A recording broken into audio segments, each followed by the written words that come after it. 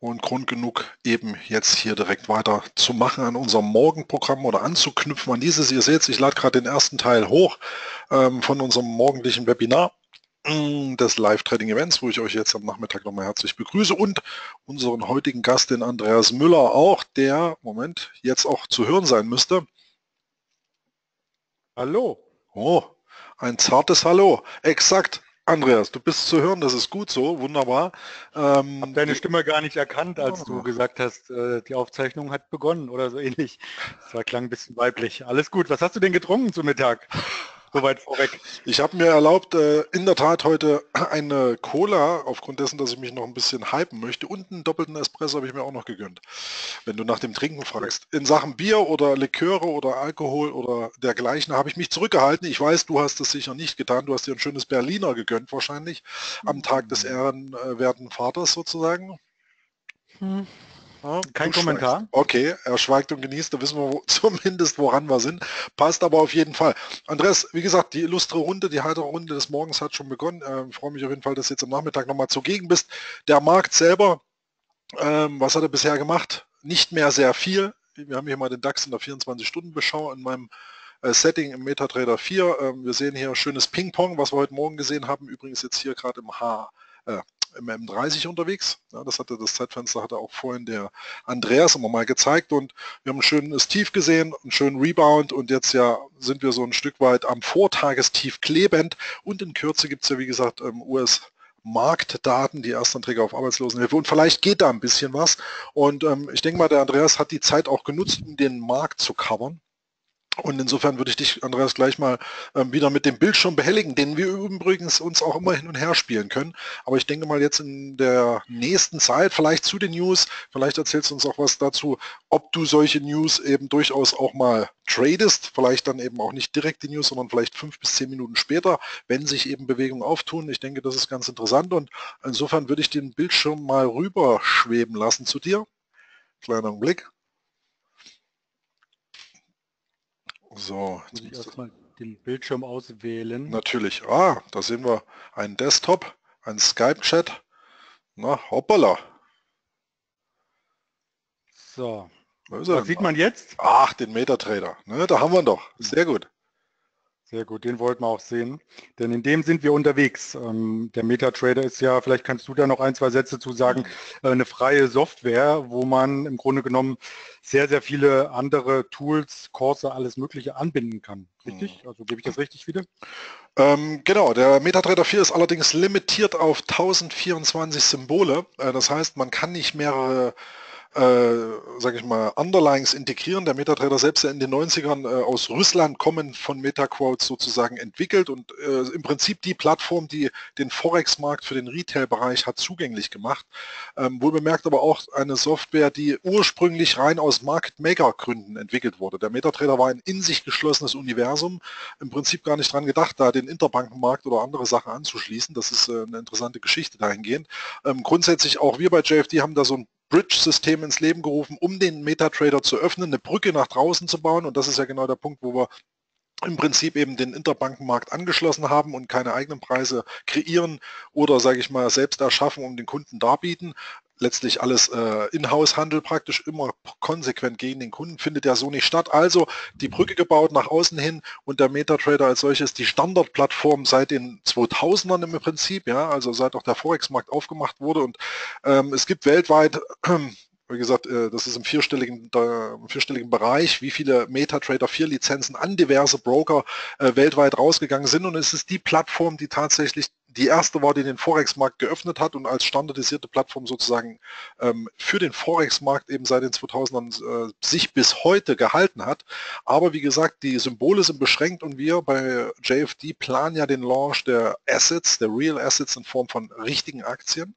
Das ist ja etwas, was wir in der Pipeline haben. Ergo, der MetaTrader 5, auch hier ein Tool, was wir in unserer Pipeline als neues Produkt haben, denn der hat keine Limitierung in Sachen Underlyings. Wir hatten ja in der Spitze bis zu 900 verschiedene CFDs, ETFs ähm, und eben Forex Underlyings bei uns ähm, ähm, äh, im MetaTrader 4 Angebot und wir waren sozusagen kurz vor dem Limit und im Sinne des Multi-Assets äh, Aufsprengens, was wir praktisch jetzt eben angehen wollen in den nächsten Monaten, ähm, ist es eben auch so, dass wir den MetaTrader 5 brauchen. Überdies ähm, auf unserer Website auch zu sehen, dass wir ja mit Guidance und dem Agina Trader und der webbasierenden MetaTrader-Version äh, sozusagen einiges an Plattformen bislang anbieten und der MetaTrader 5, wie gesagt, der wird jetzt noch on top dazukommen, vor dem Hintergrund, dass wir unser Anlageuniversum sukzessive weiter erhöhen. Wunderbar. Also, Insofern Frage beantwortet, denke ich. Der MetaTrader ist aber ja. gesagt, ein Tool. Du sagtest es auch heute Morgen schon, was mit den Add-ons auch, ich sag mal, sich pimpen lässt. Sprich, die doch schon etwas oldschool wirkende oder retro wirkende Erscheinung des MetaTraders kann man dadurch aufpempen.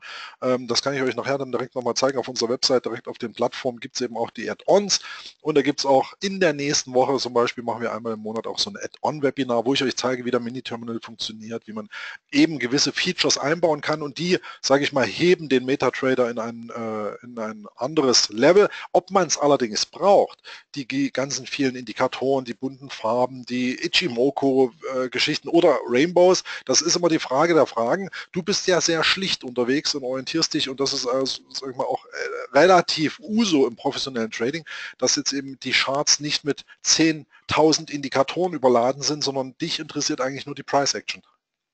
Genau, also man kommt ja letzten Endes auch durch mehrere Einstellungen auf ähnliche Ergebnisse, denn ähm, egal was man für Indikatoren einfügt, es ändert sich an den Vortageshoch oder Tiefs zum Beispiel nichts. Mhm. Ja, das in der Kurse. Und wenn man nochmal, ich äh, möchte keine Werbung für das Buch machen, äh, war nur ein Beispiel jetzt mit dem äh, Florek Neue Trading Dimension.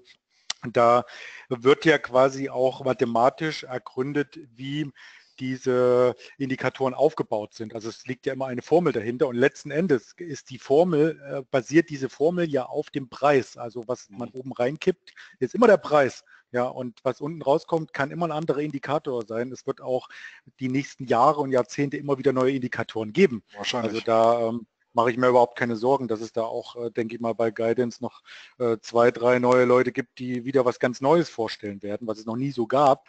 Aber letzten Endes wird alles vom Preis abgeleitet. Und Richtig. deswegen gehe ich da an die originäre Quelle und äh, wärme mir quasi nicht das äh, Nudel, die Nudelbox von gestern nochmal auf, hochwertig, sondern gehe dann direkt ins Restaurant, wo es herkommt. Ja, sehr schöne ja. Ableitung, sehr schöne Ableitung, das mag ich, das ist suffisant, ja, wenn du da hier sowas einstreust aus dem Leben, ja, da kann man das immer ich, sehr ich gut... Streue, ich streue auch gleich das Mittag nochmal ein. Ich hatte ja vorhin, da kamen bestimmt einige Nachfragen wegen dem 1-Cent-Döner. Ah, ja, Deswegen habe ich die Mittagszeit genutzt, da vorbeizufahren. In der Tat, die Preistafel hat sich geändert. Äh, er ist jetzt hochgesprungen. Ich hole das mal rüber. Happy Food, keine Schlange mehr. Ja, und jetzt ist äh, der Preis ist ja immer Angebot, Nachfrage, ganz klar. Ah. 1,99. Und dann ist bei dem Angebot auch die Nachfrage nicht mehr so hoch. Und gestern, mm. wie ich heute Vormittag, falls nicht äh, jeder, der jetzt zuhört, ähm, heute Vormittag schon dabei war, gestern war eine sehr, sehr lange Schlange aus Berlin raus. Ich habe erst gedacht, äh, Weltkirchentag oder vielleicht stehen die auch schon an wegen Obama, der ist ja gerade hier. Ja, hat mir richtig. übrigens die Daten, Daten 14.30 noch nicht erzählt. Ich war kurz äh, dort. Ich, ich, weiß auch nicht, ob er sich mit äh, Donald Trump eine Maschine geteilt hat, weil oh. der Donald Trump ist ja in Frankreich. Äh, exakt. Auch nicht. Dies, also gut, Maschine teilen halte ich fast für ein Gerücht. Ne? Das, äh, das hm. äh, kann ich mir nicht vorstellen, aber ich gebe dir recht, das ist hier ein europäischer äh, Schwamm, der hier rüberkommt sozusagen. Ja. Aus der wer weiß, wer weiß. Hm. Gut, soviel zum Thema ähm, Döner. Zurück zum Markt. Ja. Ähm, er hat, hat hier oben, also quasi auf dem Eröffnungsniveau, auf das Eröffnungsniveau ist er zurückgekommen wo wir abgestürzt sind, also quasi äh, einen riesen Rebound hat er fabriziert und all diejenigen, die gedacht haben, es ist ein Abwärtstrend und an mehreren Schwellen vielleicht versucht haben, gegen den Markt zu rennen, die wurden eines Besseren belehrt. Das nützt dann, also je nach Stopp, vielleicht ähm, ist man jetzt auch plus minus null. Man weiß ja nicht, man kann nicht in die Orderbücher reinschauen, aber das sind zumindest Regionen und Bereiche, äh, wo mir der Stopp ähm, zu nah am Kurs ist, als dass ich den Trade über Stunden hinweg durchziehen könnte. Also das ist nicht mein Trading. Ich habe aktuell einen Trade laufen, den bin ich auch zum äh, Start des Webinars eingegangen. Es war ja vorhin die Frage, ob man auch einen aktuellen laufenden Trade zeigen kann. Selbstverständlich kann man das. Ähm, und zwar habe ich mir äh, nach dieser Konsolidierungsphase, aus der wir hier langsam rauskommen, leider kann man keine Trendlinien in dem Webtrader, zeige ich nachher nochmal, oh. Ähm, einfügen, sonst hätte man hier einen schönen Abwärtstrend einzeichnen können, der hier ähm, verlassen wurde. Das heißt, ich bin hier long gegangen, habe den Stopp in etwa auf das mittägliche Tief gesetzt.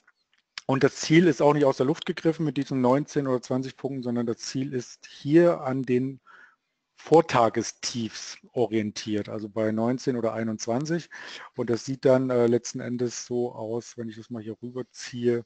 Ich hoffe, man sieht das, ähm, dass ja, der Kurs der marktnah am Einstiegskurs ist. Wir sind noch nicht am Zielkurs und wie bereits richtig bemerkt wurde, tickt auch die Zeit ein wenig. Also um 14.30 Uhr kommen Wirtschaftsdaten. Zu den Wirtschaftsdaten äh, möchte ich natürlich nicht zu viel riskieren. Ähm, mhm. Die letzten Wochen oder Monate war immer relativ ruhig. Ähm, ich handle, wenn ich die Wirtschaftsdaten handle, dann immer nur im Affekt. Das heißt, ich positioniere mich nicht kurz davor und spekuliere Aha. darauf, dass, dass etwas passiert. Okay. Weil, äh, muss erstens nichts passieren und zweitens geht es so schnell. Ähm, heutzutage werden die Zahlen rausgehauen von den Agenturen, gehen über alle Ticker. Man hat sie sofort bei Twitter, bei äh, Yandaya, das ist so ein Service von Guidance im Netz. Also man hat sofort Zugriff oder Bloomberg TV kann man sich live die Zahlen anschauen, Breaking News. Die dann zu sehen und auch noch zu beurteilen und dann zu klicken, ist äh, fast ein Ding der Unmöglichkeit. Man ist auf alle Fälle langsamer als äh, die Big Boys, mhm. die beispielsweise in Chicago sitzen, an, an einer der größten Warenterminbörse, wo auch andere Futures natürlich gehandelt werden. Und äh, mir hat mal ein Broker gesagt, äh, wenn in Chicago zählt jeder Meter zur Börse, weil die Leitung einfach näher ist und das bedeutet Milli, Milli, Mikrosekunden. Die würden sogar, wenn es möglich wäre, noch auf die Börse obendrauf ihr Büro bauen, nach mhm. oben. Einfach, ja, weil die Nähe da einfach zählt. Aber für uns zählt die Nähe nicht wirklich. Für uns zählt zu wissen, wann der Kurs entsteht. Also oder wenn er sich bewegt, wann Wirtschaftsdaten nach außen gepusht werden, dann entscheidet jeder selbst, ähm, ob er drinne bleibt, wenn er schon eine Position laufen hat oder nicht. Bei mir ist es jetzt so bei der Position, dass ich die, ähm, den Stopp, den kann man mit einer Maus anpassen, also einfach die Maus halten. Ich ziehe quasi die Position auf das letzte Tief das letzte lokale Tief, ähm, sodass im Falle eines Ausstoppens ähm, das Risiko noch einmal minimiert wurde. Das Ziel ist jetzt nur noch äh, vier Punkte entfernt, also durchaus möglich, dass wir das gleich erreichen. Ähm, wir warten einfach gespannt. Du hast die Zahlen sicher vorliegen und hast mhm. Twitter an. Mhm. Nehme ich an. Mhm, ich lasse mich da, ich bin da auch, ich bin ehrlich gesagt, ich, wir hatten ja den äh, Dirk Hilger zu Gast äh, schon, der hier News Trading ja betreibt, auch mit seiner speziellen Software, mit Pullback Orders und dergleichen. Ähm, da geht es richtig zur Sache. Ich bin auch einer, der dann meistens abwartet, äh, wenn die News raus sind, ja, und da auch äh, gern mal 15 Minuten vorher flat ist oder 15 Minuten danach, um eben dann mal zu sehen, was passiert, wenn der Wind sich gelegt oder der Staub sich gelegt hat. Ja. Aber ich schaue mal äh, äh, ganz klar auch mal dann, wenn die Daten jetzt hier reintickern. Ähm, wie Schau gesagt, die Quelle drauf. hast du ja vorhin schon angesprochen, Börse Go Yandaya, beziehungsweise jetzt dann eben hier integriert auf Guidance News, wie es jetzt heißt. Ähm, tatsächlich so ein Echtzeit-Tool, was ja, das war unvorstellbar vor zehn Jahren, dass man da so ein, so ein Tool nutzen könnte.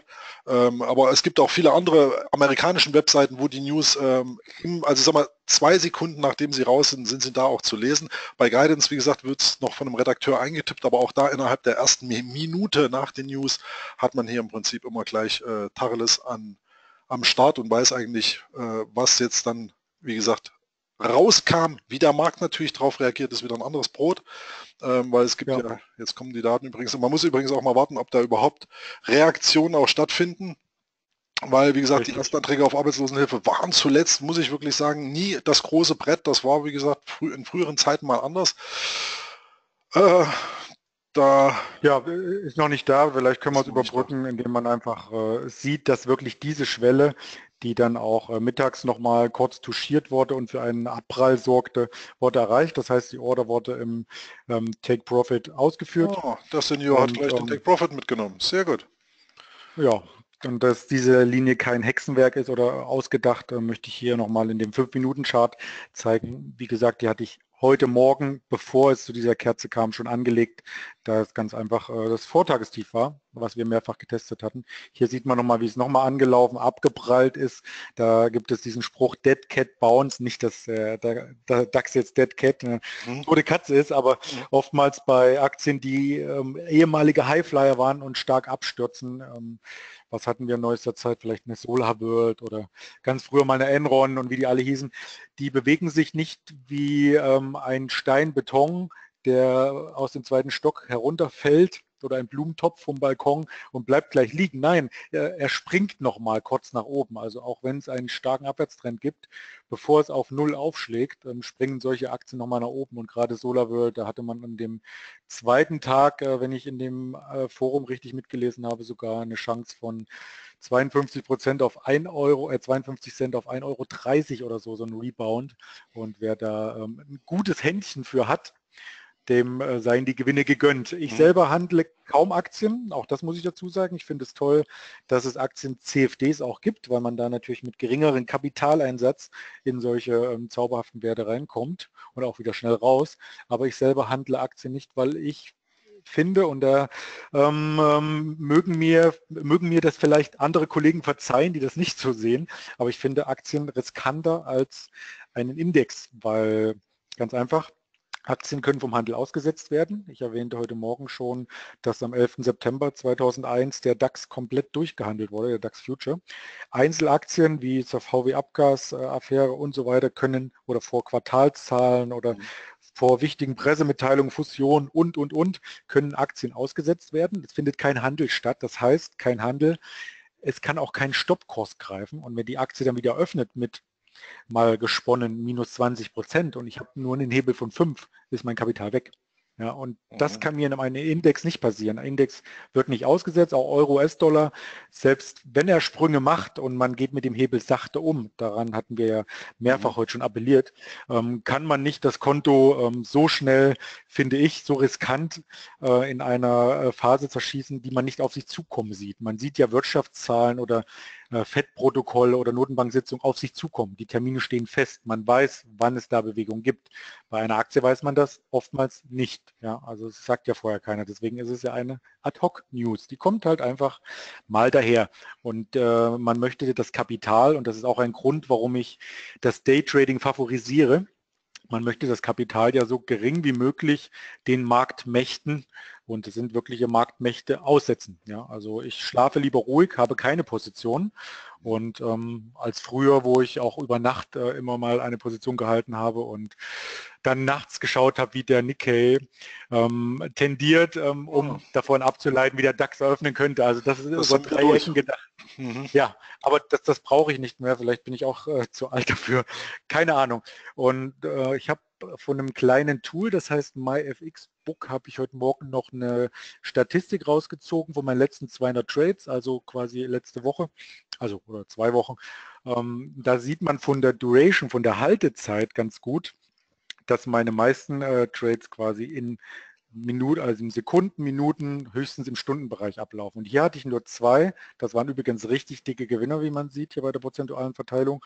Mhm. Ähm, die habe ich länger laufen über Nacht, weil der Trend einfach gestimmt hat und wo ich dachte, ähm, okay, der Stopp ist schon im Plus für die Teilposition. Ich habe Gewinne mitgenommen teilweise, auch das geht sehr, sehr gut, die Position aufsplitten und am Ende ähm, war das okay. Aber ansonsten sind meine ganzen Positionen, wie man heute auch gesehen hat, sehr, sehr kurzfristig ausgelegt. Und ich nenne es gerne die Eichhörnchen-Methode. So ein Eichhörnchen hat ja nicht irgendwie äh, eine Tasche, wo die Nüsse reinkommen oder einen Rucksack und geht äh, den ganzen Tag sammeln, abends nach Hause und macht die Beine hoch, wie jetzt ein Flaschensammler im Mauerpark in Berlin, sondern ähm, ein Eichhörnchen sammelt zwei Nüsse, bringt es in Bau, sammelt zwei Nüsse, bringt es in Bau.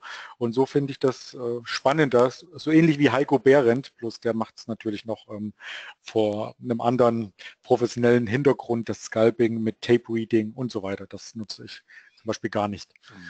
Ja, soweit äh, als kurzer Einblick, was halt Trading-Frequenz und so weiter einging. Ich hatte mittags auch noch einen weiteren Trade, bevor ich in die Mittagspause gestartet bin. Ähm, habe ich mir überlegt im Euro-US-Dollar, der war nämlich hier am Tagestief. Wir hatten kurz darüber gesprochen, dass die Schwankungen genau 50 Ticks waren. Mhm. Ich gehe mal in den Euro-US-Dollar rein und mache das Ganze ein wenig kleiner. Dann sieht man die Tagesschwankung noch ein bisschen größer. Dann sieht man die Tagesschwankung. Also hier haben wir ungefähr eröffnet nachts. Dann ging es mal hier runter, hier hoch, hier runter. Hier hat es verweilt. Und im nächsten Aspekt wurde nochmal auf das ähm, Nachttief was 1.30 Uhr, der Euro-US-Dollar handelt quasi die ganze Woche durch. Am Forex-Markt können Sie, äh, ja, können Sie 24 Stunden handeln. Macht nicht immer Sinn, aber Sie können es. Ja.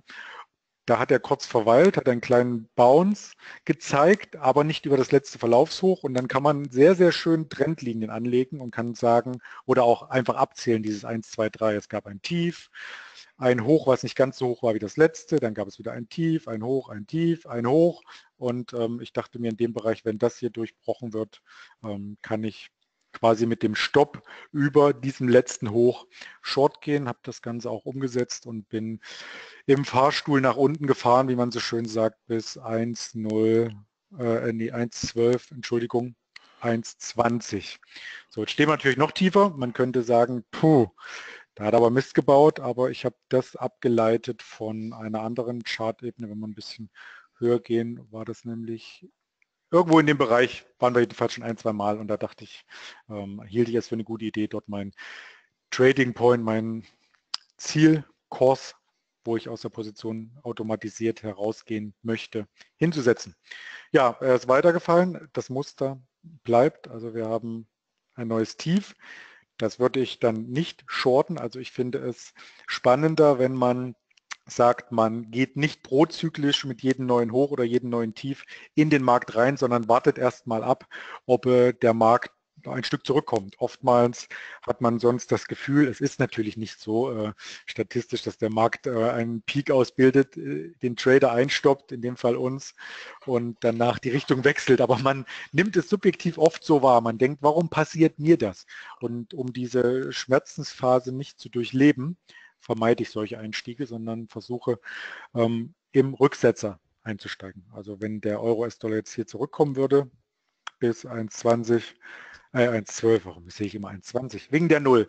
Mhm. 1,12,07, 1,12,08 und dort keine weiteren Anstrengungen unternimmt, ähm, höher zu tendieren, würde ich den Short-Einstieg suchen und davon ausgehen, dass der Trend einfach locker flockig weitergeht. Das große Bild immer vor Augen im Stundenchart. Wir waren bei 1.1170 mehrfach gestern und ja, das sollte man auf alle Fälle immer beachten, das große Chartbild. Ansonsten ist man äh, schnell in einem kleinen Trend gefangen, wo man denkt, ja, der könnte ewig laufen, aber der große zeigt schon ganz was anderes an. Diese Verschachtelung der Zeiteinheiten, oh. der Michael Vogt, Vogt hat es sehr, sehr gut dargestellt. Ich weiß jetzt nicht in welchem Band, aber in einem der Bände. Ja, so. aber generell, generell, generell in seinem großen Buch der Markttechnik macht er das ja auch äh, formidable. Zumal die Markttechnik, du hast ja vorhin auch das Buch von Joe Ross gezeigt, mit dem Rosshagen, ja. das ist ja nichts anderes eigentlich. Ähm, also indirekt ist es ja auch eine Art Markttechnik äh, eben, also umgedreht, also die, der, die Markttechnik ist eine Art Joe Ross und Joe Ross wiederum eine Art Dow-Theorie. Aber mhm. grundsätzlich machen sie eben alle das, dass sie sich die Charts anschauen und das, was du sagst mit der Verschachtelung der Zeitebene, das ist schon äh, nicht von ungefähr. Das ist auf jeden Fall ein ganz, ganz wichtiger Punkt, äh, wo man einfach sagen muss, da muss man einfach ein bisschen die Verschachtelung auch sehen, um sich dann nicht hier plötzlich überrascht zu fühlen, wenn eben das ein oder andere Hoppla Hopp hier passiert. Ne? Jetzt auf aktuellem Niveau zum Beispiel, das ist ja ein Horizontalbereich, zumal ja auch 1,12 eine runde Hausnummer, sieht jetzt mal so mhm. technisch gesehen nicht uninteressant aus. Ja, das stimmt. Ich bin jetzt nicht der große FX-Trader. Ich glaube, da bist du äh, tiefer in dem Gebiet drin. Aber ich glaube prinzipiell, wenn man die Charttechnik und die, das Verständnis wie ein Trend sich aufbaut, äh, mhm. wie die Marktteilnehmer in den Trend hineinkommen. Weil man muss ja auch wissen, ähm, dass die Marktteilnehmer nicht wie wir äh, One-Click-Trading fabrizieren, sondern ein großer Hedgefonds, der den Auftrag hat, 1000 DAX-Futures einzukaufen mit einem Zielhorizont von äh, vier Wochen vielleicht, weil gerade an der Zinsschraube gedreht wurde oder noch länger.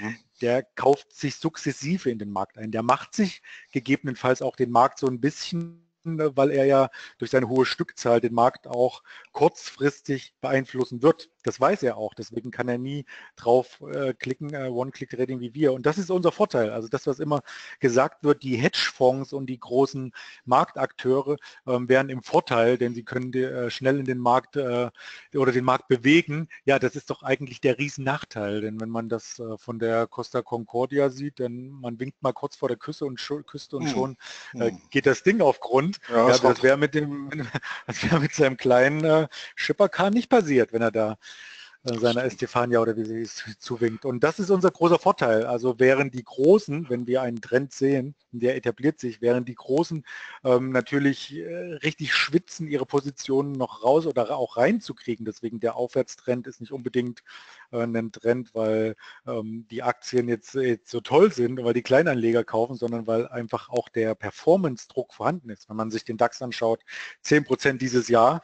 Ähm, Im Durchschnitt macht der DAX, wenn man es wirklich zurückrechnet bis auf die 80er, im Durchschnitt liegt der DAX bei 8 Prozent im Jahr. 8 Prozent mhm. ist sehr, sehr viel, ähm, ist 8% mehr als auf dem Sparbuch, also schon mal mega äh, gut als Geldanlage, aber ähm, 8% mit einem ETF abzubilden ist einfach auch langweilig. Und ähm, wir versuchen als Trader natürlich diese Performance äh, ein Stück weit äh, nicht nur auszuhebeln, sondern auch in Jahren zu erreichen, wo der DAX eben nicht diese 10% schafft. Aber die Großen müssen sich immer an einer Benchmark messen lassen. Die orientieren sich immer an, an einem Index letzten Endes, ob das mhm. ein Sektorenindex ist oder ähm, als Fallback ganz groß äh, gesehen am MSCI, am, am MSCI, ja. größten Wel Weltindex, klar. Aber irgendwo müssen die sich äh, natürlich messen lassen, ähm, die Fondsmanager und die Fonds, weil ansonsten ihnen das Vertrauen entzogen wird, weil die Gelder dort abfließen und ja, und das versuchen wir natürlich äh, auch irgendwo uns zu messen. Und da ist es ganz schick, dass man auch im MetaTrader äh, Statistiken ziehen kann, dass man kleine Kuchendiagramme bauen kann und, und, und und die Daten weiter verwendet. Und genau das ähm, haben wir früher sehr, sehr mühsam in einem Trading-Tagebuch, wie es so schön heißt, gemacht. Also wir haben unsere ähm, Trades aufgeschrieben, teilweise auch durch Ausdrucke äh, ergänzt aber wir haben äh, nicht die Möglichkeit gehabt, das alles schön ähm, rauszuziehen, so, eine, so einen Report. Und letzten Endes muss man das tun, um sein, ähm, naja, seine Fehlerquellen und auch das, was einen stark macht, zu identifizieren und sich zu optimieren. Denn wenn man nicht weiß, was man getan hat, ja, was, wie soll das dann weitergehen? Ja, also das mhm. ist wie so ähm, wenn der Hund zu Hause alleine sitzt und man ist den ganzen Tag im Büro, kommt nach Hause und vielleicht ist die Couch zerbissen, aber auch die Tür zerstört und der Kühlschrank war offen, dort wurde alles auf, aufgefressen. Mhm. Und dann schimpfen sie den Hund. Wie soll denn der Hund wissen, für was diese Aktionen er aber er hat ordentlich in, in sein äh, Katsankörbchen gekackt, ja. Also er hat was Positives gemacht und drei Sachen negativ und sie schimpfen. Also was soll in dem Hund, der ein einfaches Gehirn hat als wir Menschen, denn vorgehen? Wofür wurde er jetzt gerade bestraft, ja? ja. Und das können, das ist im Trading, wenn Sie den Jahresreport nur sehen beim Broker, dann steht ein Minus. Ja, wofür wurden Sie denn bestraft? Warum äh, ist das Konto im Minus? Und wenn Sie aber genau wissen, wann Sie welche Trades eingegangen sind, vielleicht kommt ja auch beim Filter der Märkte heraus, Ihnen liegt nicht der DAX, sondern Ihnen liegt nur ähm, der Eurostox 50 ja, der ein bisschen sanfter läuft als der DAX. Im mhm. Future-Bereich sagt man, äh, man nimmt zwei Eurostox Futures und anstatt einen DAX Future und damit mhm. klettet man die Performance, weil der einfach auch ruhiger läuft. Mhm. Ja, oder in, in den USA den S&P 500 traden anstatt den Dow Jones, weil einfach durch das höhere Volumen ähm, eine viel bessere ähm, Charttechnik greifen kann. Und solche Dinge muss man eben ergründen, für sich selber herausfinden und das geht äh, denke ich mal, im, im äh, Trading-Tagebuch oder äh, wie ich das äh, so schön salopp genannt hatte, im Trading-Buch. Ich darf mal kurz meine ah. auch schon angestaubte, meinen angestaubten Blog, den ich ähm, laienhaft führe und der Moment, aber optisch Moment. zum Metatrader passt. Das, jetzt Moment, wieso eigentlich Bernecker?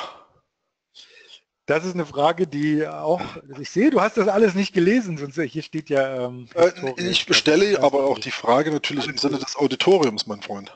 Natürlich, natürlich.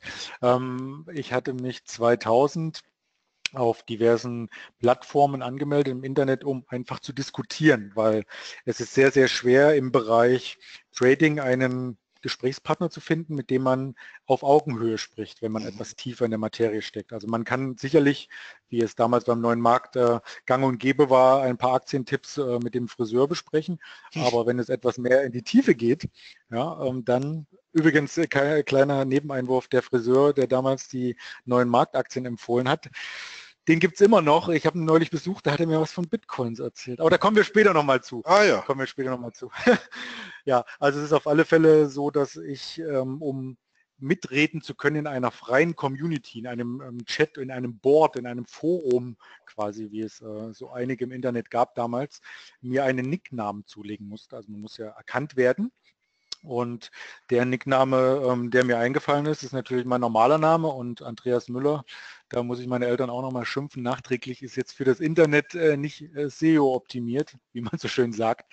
Also es gibt einfach zu viele Andreas Müller und so war auch der Nickname schon vergriffen. Hm. Da dachte ich, ähm, äh, Andreas Müller mit Geburtsjahr oder nur Müller Geburtsjahr, alles war schon weg bei Wall Street Online. Das war damals die Plattform, wo ich mich 2001 angemeldet habe. Und im Fernsehen lief der Herr Bernecker, der Hans Bernecker. Ah. Da habe ich einfach gedacht, Mensch, den Hans Bernecker, ähm, der erzählt ja ganz lustige Sachen. Ähm, ich fand den sehr, sehr spannend, so wie er die Börse erklärt hat. Er hat sie sehr, sehr einfach erklärt und deswegen habe ich mich mit dem Namen in Kombination mit meinem Geburtsjahr angemeldet, Bernecker 1977. So ist das Ganze entstanden. Das ist alles schon sehr, sehr viele Jahre her. 2001, ähm, glaube ich, ja genau. 2001 war das, ähm, kurz nach den Anschlägen von äh, New York. Mhm. Und seitdem bin ich auf der Plattform unterwegs, habe, wie man sieht, wow. knapp 100.000 Beiträge wow. erstellt. Also Meine Güte. Da kann man schon einiges nachlesen und äh, Bitcoin habe ich neulich was zugeschrieben. DAX-Wochenvorbereitung ähm, fanden dann doch einige Menschen interessant. Ähm, ich bin in den Tagestrading-Chancen, das ist die große Diskussion, die ich seit 2005 dort quasi mitgeprägt habe, wo ich jeden Tag als Ansprechpartner... Ein Urgestein spricht heute zu uns, liebe Leute, ein Urgestein. Sozusagen, sozusagen, aber nur im Internet das Urgestein. ja, ja. Wohl, wohlweislich. Das ist ja auch, äh, das Geburtsjahr, was du hier nebenbei so rausgekehrt hast, kann ich ja fast nicht glauben. Du kommst mir eher so vor wie Baujahr, sag ich mal, 88, äh, weißt du? Ja, also von Erfahrung her ähm, hat das nichts unbedingt mit dem Alter zu tun. Ich habe in den letzten 20 Jahren sehr, sehr viele Börsianer kennengelernt, ähm, die entweder jung waren und schon über enormes Know-how verfügten, mhm. weil es heute viel, viel einfacher ist, ähm, an die Quelle zu kommen, also Wissen aufzubauen. Mhm. Auf der anderen Seite habe ich aber auch in vielen Seminaren, gerade in den Seminarräumen bei der World of Trading, sehr, sehr viel höhere Semester erlebt, die, sich dem Thema erst jetzt widmen können, weil sie jetzt die Zeit und B auch das Geld dafür haben. Denn äh, ein Jugendlicher, der sagt sich, wenn ich nur 200, 300 Euro übrig habe für das Thema Trading, um da einen sinnvollen Profit rauszuziehen, wo man sich halt ähm, auch nicht nur einen Döner, sondern ein bisschen mehr leisten kann, muss ich mehr ins Risiko gehen. Und sobald ich mehr ins Risiko gehe, steigt natürlich auch die Gefahr, das Konto schnell platt zu machen. Und da denke ich, sind die erfahreneren Semester von der Lebenserfahrung her ähm, sehr, sehr gut unterwegs. Sie wissen das Geld zu schätzen. Sie wissen, wie schnell ähm, es weg sein kann und wie hart man dafür arbeitet und riskieren demzufolge ähm, relativ wenig von ihrem Ersparten. Also auch das Trading-Konto ist nicht das ganze Ersparte. Das äh, muss man auch im Hinterkopf behalten. Und Deswegen ähm, hat das Alter auf der Geburtsurkunde nicht unbedingt etwas auszusagen über ähm, das Know-how an der Börse. Ja. Das stimmt. Das wollte ich, das wollte ich dazu sagen. Genau. Absolut richtig, absolut richtig. Ähm, dennoch ist es natürlich so, dass man Zeit braucht. Ne? Also entweder autodidaktisch über Jahre selbst oder eben ja eine Art Mentoring, wobei es da auch viel, sage ich mal, ähm, sage ich mal, Streu und Späne gibt. Und Weiz. Und ja, Späne, genau. Man muss ja, halt also überlegen. Man muss. Mhm. Ja, ich wollte nicht unterbrechen. Also nö, man nö, muss nö. überlegen. Man muss überlegen. Also ich finde, ich finde es halt schon, genau, mit wem man zusammen, das ist auch eine Sympathiefrage ja letzten Endes. Also und was man für ein Typ ist. Also ich bin zum Beispiel jemand, der der Meinung ist, ein äh, Video-Learning oder ein Buch ähm, ist sehr, sehr schön zum Nachschlagen, zum Pause drücken, was anderes machen, dann wieder den Lernvorgang fortsetzen. Aber es ist letzten Endes ähm, ein Selbststudium. Ich könnte zum Beispiel auch nicht so ein Selbststudium an der Fernhochschule äh, meistern, weil mir dann einfach äh, A, der Austausch und B, die Möglichkeit des Fragenstellens genommen wird. Ja, und deswegen finde ich ein äh, Coaching, wo ein Mensch direkt vor einem sitzt, viel, viel wertvoller oder heute das Webinar, wo man Fragen stellen kann, ähm, finde ich viel, viel spannender, als wenn man sich ähm, über ein äh, YouTube-Video im Nachgang, klar, zeitlich geht es manchmal nicht anders, aber wenn man sich nur YouTube-Videos anschaut, wird man nicht so viel mitnehmen, denke ich, als wenn man in einem interaktiven Format sich austauscht. Mhm, mh, mh. Ich schiebe nochmal die Analyse beiseite, weil äh, mir, während wir so schön plaudern, auch noch ein, Trade ins Kästchen geflackert ist. Und der ist eigentlich ein ganz kleiner. Und zwar diese Schwelle am, zur Mittagszeit, wo der DAX sich nochmal abgedrückt hat von den Vor Tagestiefs, um runterzukommen. Er ist nochmal rangelaufen. Ist die Frage, ob er sich hier entscheidet. Geht er hoch, dann ist durchaus äh, möglich, dass er nochmal zur Gap-Kante 22 Uhr, das ist hier in dem 50er Bereich, oder das Gap, ähm, was wir gesehen hatten, gleich zur Öffnung im großen Chart, also das wäre dann über 60, wenn er zu dieser Eröffnungsschwelle kommt, oder 70 rum war das sogar, und wenn er es aber nicht schafft, dann stehen die Chancen äh, ganz gut, dass er noch einmal den Weg nach Süden sucht. Man kann natürlich immer versuchen, solche Dinge zu visualisieren. Ähm, hier habe ich nicht den Anspruch darauf, nach sauberster Charttechnik vorzugehen, weil wir befinden uns im Minutenchart. Ja. Und ähm, ich trade hier, wenn man das als Trend sieht, auch nur den Rücksetzer. Ähm, weil ja die Bewegung, die Tendenz ist seit ähm, dem Mittag aufwärts gerichtet.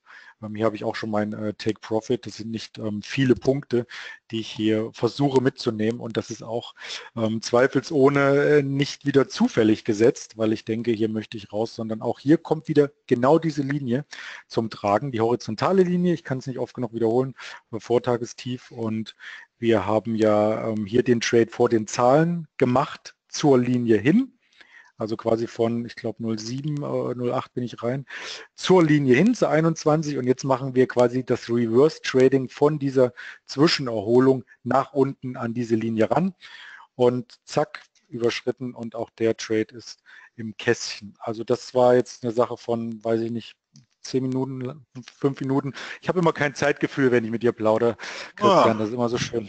das gefällt, das, das kann durchaus ähm, amüsant sein und ich sehe, es gefällt dir auch aktuell. Und du hast den Markt schon wieder gut eingefangen. Und ich habe auch eine Frage im Dings, ähm, Dings, im Chat bei uns hier. Ja, das ist ein, ähm, nein, kein präpariertes Demokonto. Oben steht ja JFD Live 02. Das heißt, wir haben bei JFD äh, Live Server 01, 02 deswegen, weil wir ähm, ein starkes Kundenwachstum in den letzten Jahren haben und ein Server nicht mehr ausreichte. Dennoch sind die Server synchronisiert. Das heißt, die Preise sind gleich, es ist wurscht, ob äh, Server 1 oder 2. Aber da oben steht der JFD Live und das ist ein Live-Account, auch mit der Nummer davor zu sehen, äh, also kein Demo-Account. Das heißt, der ähm, Andreas tradet hier seinen, seinen, seinen eigenen Account, aber das ist auch insofern jetzt gar nicht so wesentlich, aber die Frage kommt immer wieder, deswegen nehme ich es auch gerade auf. Ähm, es ist jetzt ein Realkonto. Wie gesagt, viele haben auch da, und Andreas hat ja heute Morgen selber durch das Reden und Darstellung theoretischen Einstieg verpasst, den du sozusagen im Vorfeld ja skizziert hast und eigentlich gut eingefangen. Nach dem Motto, also wenn der da drüber geht, dann ist es im Prinzip ein Buy-Bias und genau gesagt getan, ähm, hätte man es umsetzen müssen. Du hast es in dem Fall nicht und mit einem Demokonto hättest du dann vielleicht eine Pending gesetzt oder jetzt wie auch immer. Es ist eben ein großer Unterschied, ob man, ähm, sag ich mal, sein Trading fokussiert vollzieht oder sozusagen einen Entertainment-Faktor mit so einem Live-Event draus macht. Und das ist schon eine Herausforderung. Ja? Deswegen verstehe ich auch Trader, die sagen, na, ich möchte nicht mit dem Live-Geld ähm, Konto hier ran, aber auf der anderen Seite, wenn man nichts zu verstecken hat, kann man natürlich auch mit einem Live-Geld-Konto hier rangehen. Und es ist aber in erster Linie auch eine Frage der Psyche. Das muss man ganz klar sagen. Also wenn man es mit seinem Konto für sich tradet, okay. Ähm, wenn man in der Öffentlichkeit mit einem Live-Konto tradet, da haben doch schon so manche Leute Probleme. Und es haben auch der ein oder andere Contest oder die ein oder andere Gegebenheit der Vergangenheit hat ja auch gezeigt, dass es da ähm, durchaus nicht so einfach ist für viele Marktteilnehmer da oder für viele Trader da dann auch wirklich abzuliefern, wie es so schön heißt. Aber du kriegst gerade also Respekt vom Thorsten, dass du hier praktisch da sozusagen live Danke. bist. Und äh, ja, wie gesagt, ich meine, du hast ja auch schon live gehandelt mit einem äh, Marketing-Account zwar, aber auch in einem Live-Konto äh, auf den IB-Days und das hast du natürlich auch äh, sehr schön umgesetzt. Und ähm, da hat es auch nichts zu verstecken. Insofern, äh, da weiß ich ja, dass ich da bei dir einen guten Mann an der Hand habe. Und insofern äh, fahren wir mal einfach fort, was hier abgeht. Die Amerikaner, ähm, den Dow Jones jetzt in, in gut einer halben Stunde, 35, 36 Minuten, machen die Amis auf handelst du dann am Nachmittag, wenn du nachmittags handelst, dann eigentlich den Dow Jones oder handelst du den DAX bis zum Cetra-Schluss und das war's dann? Och, sowohl als auch. Also ich mag im Dow Jones die Gaps sehr gerne. Das hatte ich heute Morgen äh, mal ausführlich erzählt, wie die entstehen, äh, wie die Marktteilnehmer sich hier positionieren und was da ähm, passieren kann, was da abläuft in den Orderbüchern. Und deswegen handle ich natürlich den Dow Jones sehr, sehr gerne, weil er hier äh, uns zeigt, ein aktuelles Gap zeigt. Also der DAX hat ja sich dann äh, wohl entschieden bis Nachmittag, ob er sein Gap schließt oder nicht. Das ging bei uns in der ersten Handelsstunde ähm, schon das Gap zu. Also der langweilige oder als langweilig äh, titulierte Tag war dann doch nicht langweilig. Mhm, absolut, absolut. Hatten ihren Spaß, denke ich. Bisher, also ich handle beides. Ich versuche auch äh, ein wenig mir die Korrelation anzuschauen ähm, weil man aus den Korrelationen sehr, sehr viel lernen kann. Ähm, zum Beispiel hatte ich heute früh dargestellt ähm, Euro, S-Dollar und DAX, dass es da durchaus Korrelationen gibt. Und hier ähm, macht es natürlich Freude, ähm, diese zu traden. Also ich schaue mir schon die Märkte auf unterschiedlichen Zeitebenen und so weiter an und ähm, versuche da mir mein eigenes Urteil zu bilden. Mhm. Zwischendurch suche ich jetzt gerade den äh, JFD, ähm, äh, nee, IB ähm, Tag. Da habe ich nämlich in der Tat, und auch das kann man ja nochmal einwerfen, hier kurz bevor der amerikanische Markt startet, IB Days äh, auf meiner Seite Kategorie Veranstaltung. Ähm, so sah es in der Tat aus, bevor es losging. Also die andere Seite, ähm, die Zuschauer haben alle nur diese Kameraperspektive gesehen. Wir saßen als vier oder fünf Trader nebeneinander, hatten zwei, drei Monitore und konnten traden, erzählen über das Trading, ähm, die ganzen Sachen auswerten und haben zwischendurch natürlich auch äh, noch eine Mittagspause gehabt, die mehr oder weniger erzwungen war, weil es 32 Grad Außentemperatur gab. Also in den Räumen mit der Technik war es natürlich etwas, etwas stärker beheizt. Nichtsdestotrotz hatten wir alle lange Hemden an und hatten äh, den Dresscode gewährt. Am schönsten sah der Mann hier in der Mitte aus. Oh, äh, holla. Ja, ja, kann man mal unverblümt sagen. Äh, wer war noch anwesend? Der Jens Klatt, selbstverständlich, den mhm. kennt man auch. Ähm, dann war noch, Henry auf die Sprünge. Henry Philips. Henry Philipp. Mhm. Genau. Das ist meine einer und der Michael. Das ist der dabei. Kamborov aus äh, äh, Bulgarien, richtig, ein Import sozusagen aus Varna, unserem Backoffice, wo wir unlängst auch, äh, sage ich mal, ein schönes Networking-Event hatten. Und ganz links nicht zu sehen war auch noch der Markus zu Gast. Mhm. Mhm. Stimmt, der Markus war, äh, ja, das ist schwierig mit den Fotos zu machen. Nicht, weil der Markus äh, zu viel Platz hat. Das habe ich nicht gesagt. Das hast nein, du nein, aber angedeutet. Es klang fast. Nein, nein. Nein, er hat ja selber Bilder online gestellt, wo dann äh, der Henry zum Beispiel nicht drauf war oder ich. Also es, ist, äh, es war ja wirklich eine ganz lange Reihe. Also das mhm. fängt man in so einem kleinen Raum auch schwer ein. Ja, und wie äh, lief das am Ende? Also wie schon gesagt wurde, habe ich auch dort ein bis zwei CFDs ähm, gehandelt. Also nicht den Griff ins große Konto gewagt und am Tagesende ein Plus, wo manche schmunzeln mögen, ähm, herausgeholt. Aber man muss dieses ja immer vor dem Hintergrund des Kapitaleinsatzes sehen. Also wenn Sie und, und, genau das ist vielleicht auch ein Punkt, warum viele sagen, wenn ich mein Live-Konto handle oder eines meiner Live-Konten, die meisten Trader haben ja mehrere Konten, dann möchten sie das nicht jetzt mit allen äh, Auszügen ins Netz stellen, ja, ähm, weil dann wieder eine ganz andere Diskussion entsteht. Es geht ja letzten Endes um die Handelssignale, um die Umsetzung der Handelssignale und um ähm, die Erarbeitung des Trades. Und es geht nicht ähm, darum, wie viel riskiert derjenige Trader von seinem Kapital ähm, in Zahlen, in absoluten Zahlen und wie viel holt er pro Trade raus in absoluten Zahlen. Also darum geht es nicht, denn das ist eine sehr, sehr subjektive Variante. Ähm, als wir mit Trading angefangen haben, wirst du mir sicher beipflichten, haben wir oftmals den Betrag in eine Ware umgerechnet. Also dass man sagt, heute habe ich äh, einen Kasten ja. Bier verdient oder, oder äh, diesen Monat äh, den Mallorca-Urlaub ertradet. Aber letzten Endes macht einen das sehr, sehr nervös, wenn man immer ähm, die Relation in, in, solchen Dingen aufwiegt. Ja, also meine Frau hat dann immer gesagt, oh, eine neue Handtasche ist, das ist hart. weg. Das ist hart, ja. ja. Das ist hart. Wenn sie weg ist. Ja, also äh, die Kollegen und äh, Freunde, die nicht so tief in der Materie stecken, die assoziieren natürlich immer einen Gegenwert. Aber wir müssen als Trader so professionell genug sein, dass wir sagen, das ist ein Handelskonto, es dient dem Handeln. Ja, also wir ziehen da auch nicht ähm, jede Woche den Überschuss raus oder zahlen auch nicht jede Woche ein, um eine glatte Summe am Montag zu haben, sondern äh, es muss über die Monate oder Jahre sich rentieren, logischerweise, sonst bleiben wir beim Thema Hobby hängen und wir wollen ja professioneller und äh, natürlich mit einer Gewinnerzielungsabsicht, wie das Finanzamt sagt, die ganze Sache betreiben.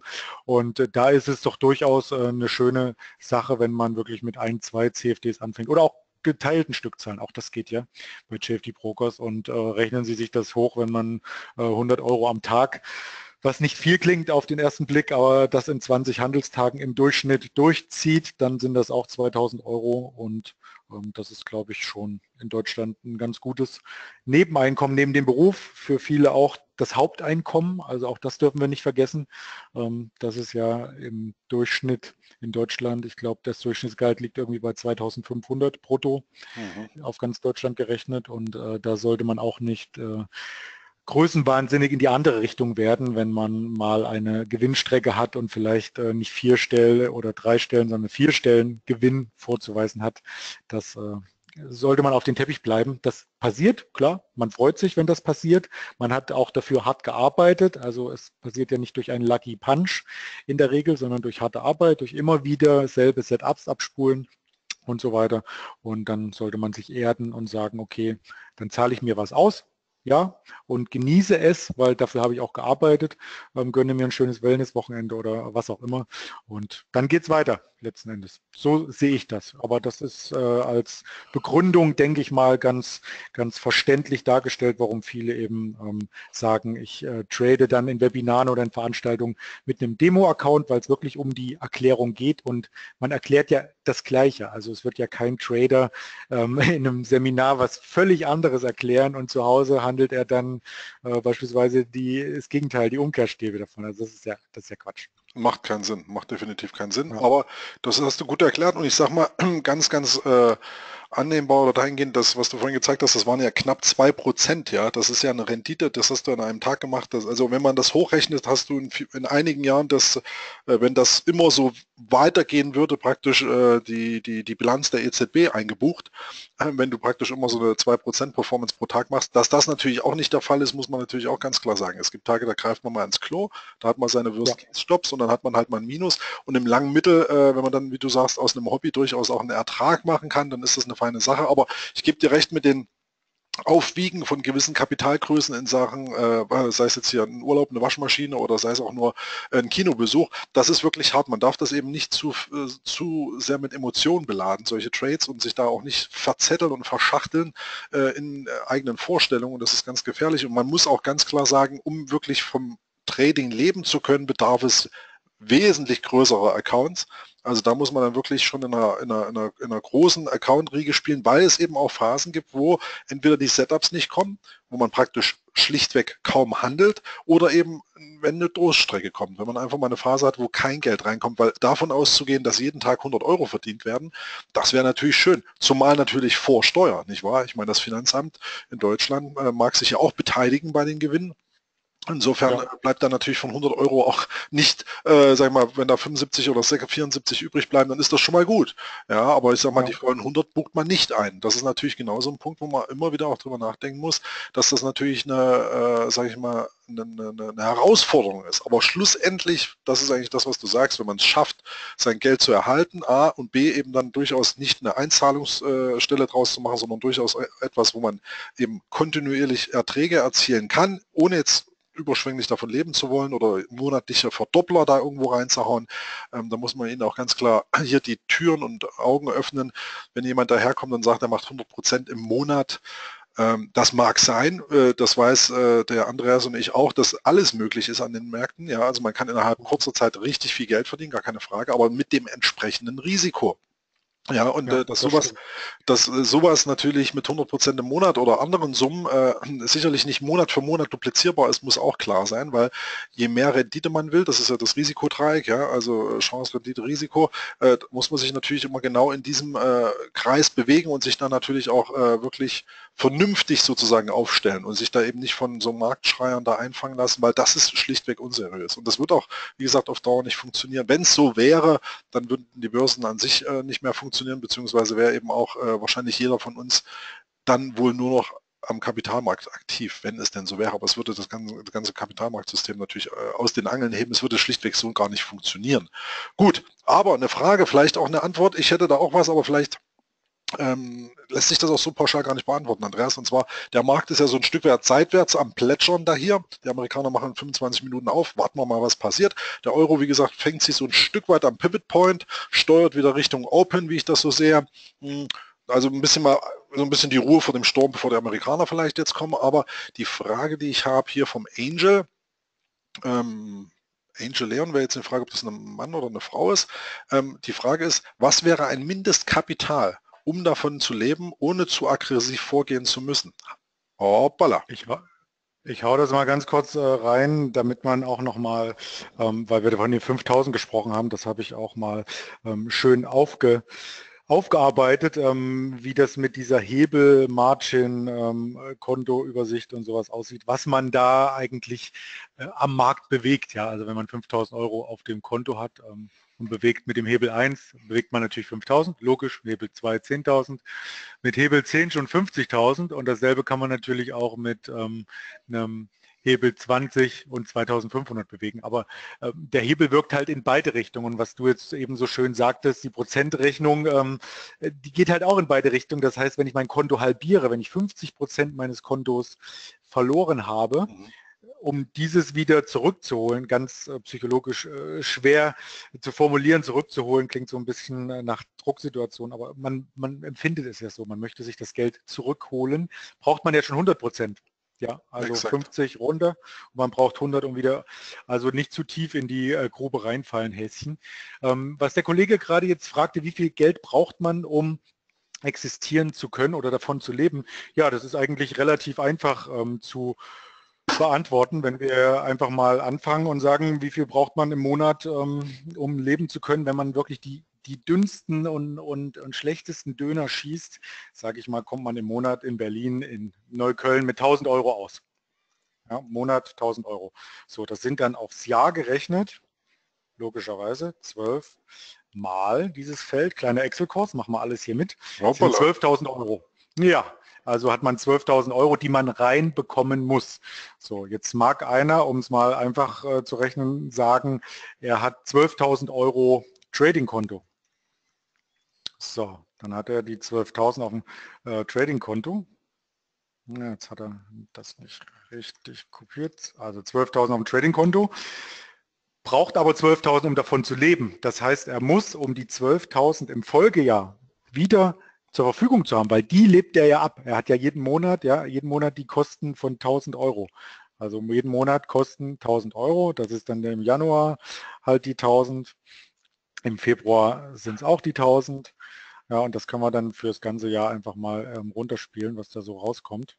November, einen Monat haben wir noch und es gibt keine Weihnachtsgeschenke, weil nämlich oh. dann am Ende des Jahres 12.000 Euro Ausgaben stattfinden. So, und das Trading-Konto hat auch nur ähm, 12.000 Euro. Ja, also wir haben 12.000 auf dem Trading-Konto, haben aber auch Ausgaben von 12.000, stehen also nach einem Jahr, wäre das Trading-Konto leer, wenn man immer äh, wenn es ein Sparkassenkonto wäre kein Tradingkonto. Das heißt, umgekehrt braucht er im nächsten Jahr wieder 12.000 Euro, um davon leben zu können.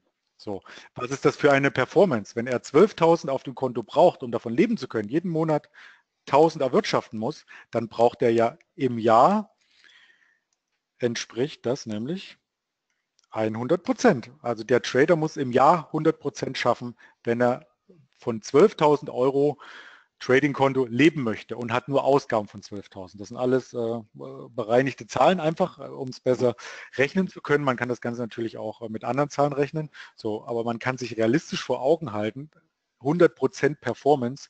Wer schafft das? Jedes Jahr. Wer schafft das jedes Jahr? Ja, also wenn, wenn mir jemand sein Track Record und seine Ergebnisse zeigt mit einem ansehnlichen Drawdown oder ich glaube auch fünf Jahre ist der Drawdown dann auch egal. Wenn einer fünf Jahre lang jedes Jahr die 100 Prozent schafft aufs Trading-Konto, dann äh, kann ich zu einigen Hedgefonds vermitteln, die dann auch mit Chauffeur und Black Lane und Audi A8 vorbeikommen und den jungen Mann oder Frau oder auch älterer Mann oder Frau, auch egal wie sie aussehen, abholt, weil dann ist man ein Genie.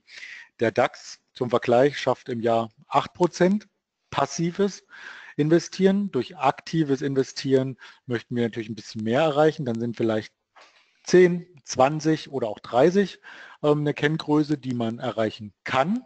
Ja, sage ich ganz offen, kann. Und dann sehen die Zahlen aber auch wieder anders aus. Denn wenn man nur 30 Prozent erreicht, 30 Prozent sind halt dann äh, 360 Euro oder 3600 Euro. Und von den 3600 Euro Ertrag auf dem Trading-Konto kann man im Monat, wenn man das aufsplittet, 3600 durch 12, mhm. nicht leben, denke ich. Und dann, wie gesagt, die Steuer ist ja auch noch nicht berücksichtigt oder irgendwelche unvorhergesehenen äh, Ausgaben. Also das ist immer tatsächlich eine, und dann eben auch äh, ein Monat des Drawdowns, ein Monat des Urlaubs, der Krankheit, des Nichthandelns.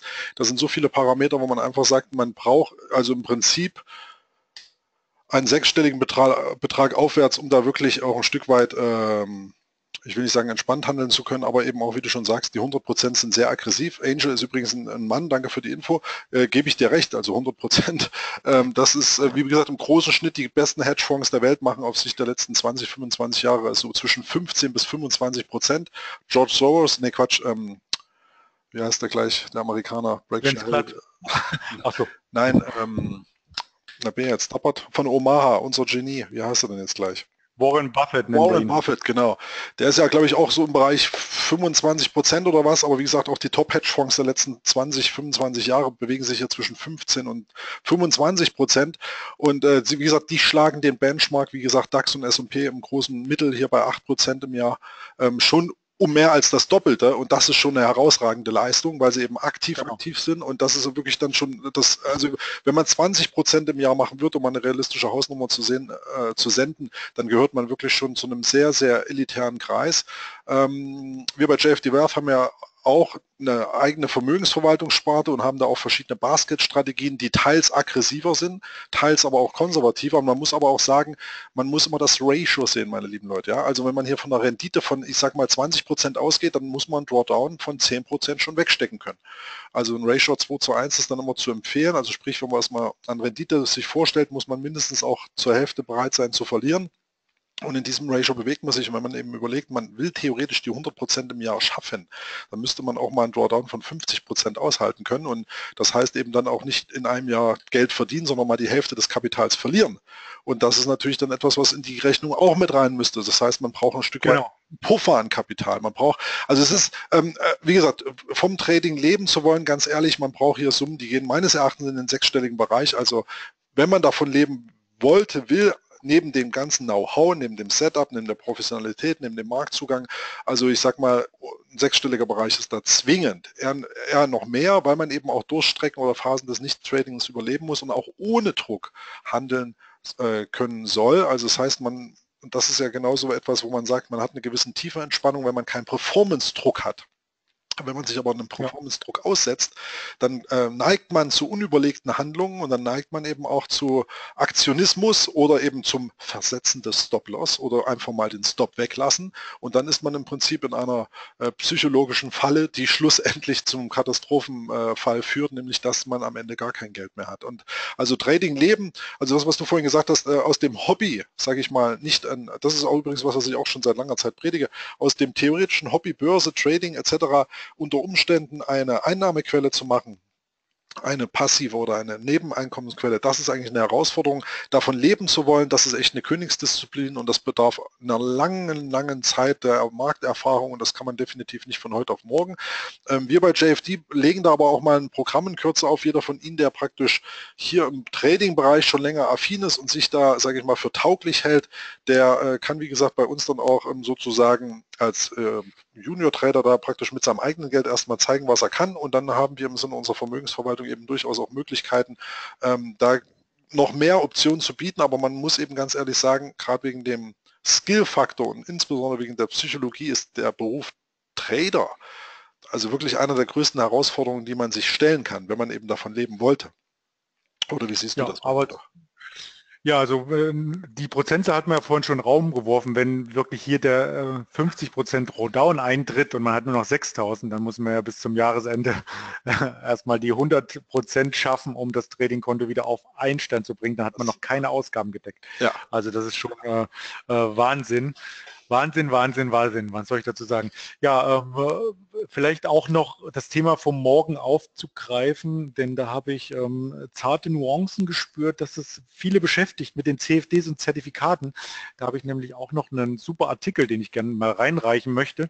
Mhm. Auf tradingtreff.de hat nämlich der Michael Hinterleitner, ah, der auch das amazing. Portal Broker Deal betreut, den kennst du ja äh, sicher oder persönlich ähm, ja. kennen wir uns schon lange, ähm, hat 91.000 ähm, Trader untersucht und befragt was sie in den letzten zwölf Monaten gehandelt haben und hat die Ergebnisse, da gab es natürlich CFD-Trader und KO-Zertifikate-Trader, einmal verglichen und hat ähm, letzten Endes die Preisstellung verglichen, genau äh, gerade zu News. News Trading ist ein Riesenthema, ähm, was es da auch teilweise für Aufgelder gibt. Ähm, die große Auswahl, das ist jetzt ein Screenshot, wie man ihn zum Beispiel bei Finanztreff findet. Man muss ja erstmal das richtige Instrument finden. Ja, also wenn ich einen US, Euro, US-Dollar suche, einen, einen Hebelschein muss ich erstmal mich durch die mehr als 500 plus X, das sind Tausende Produkte durchwühlen. Ich muss mich für einen Emittenten entscheiden.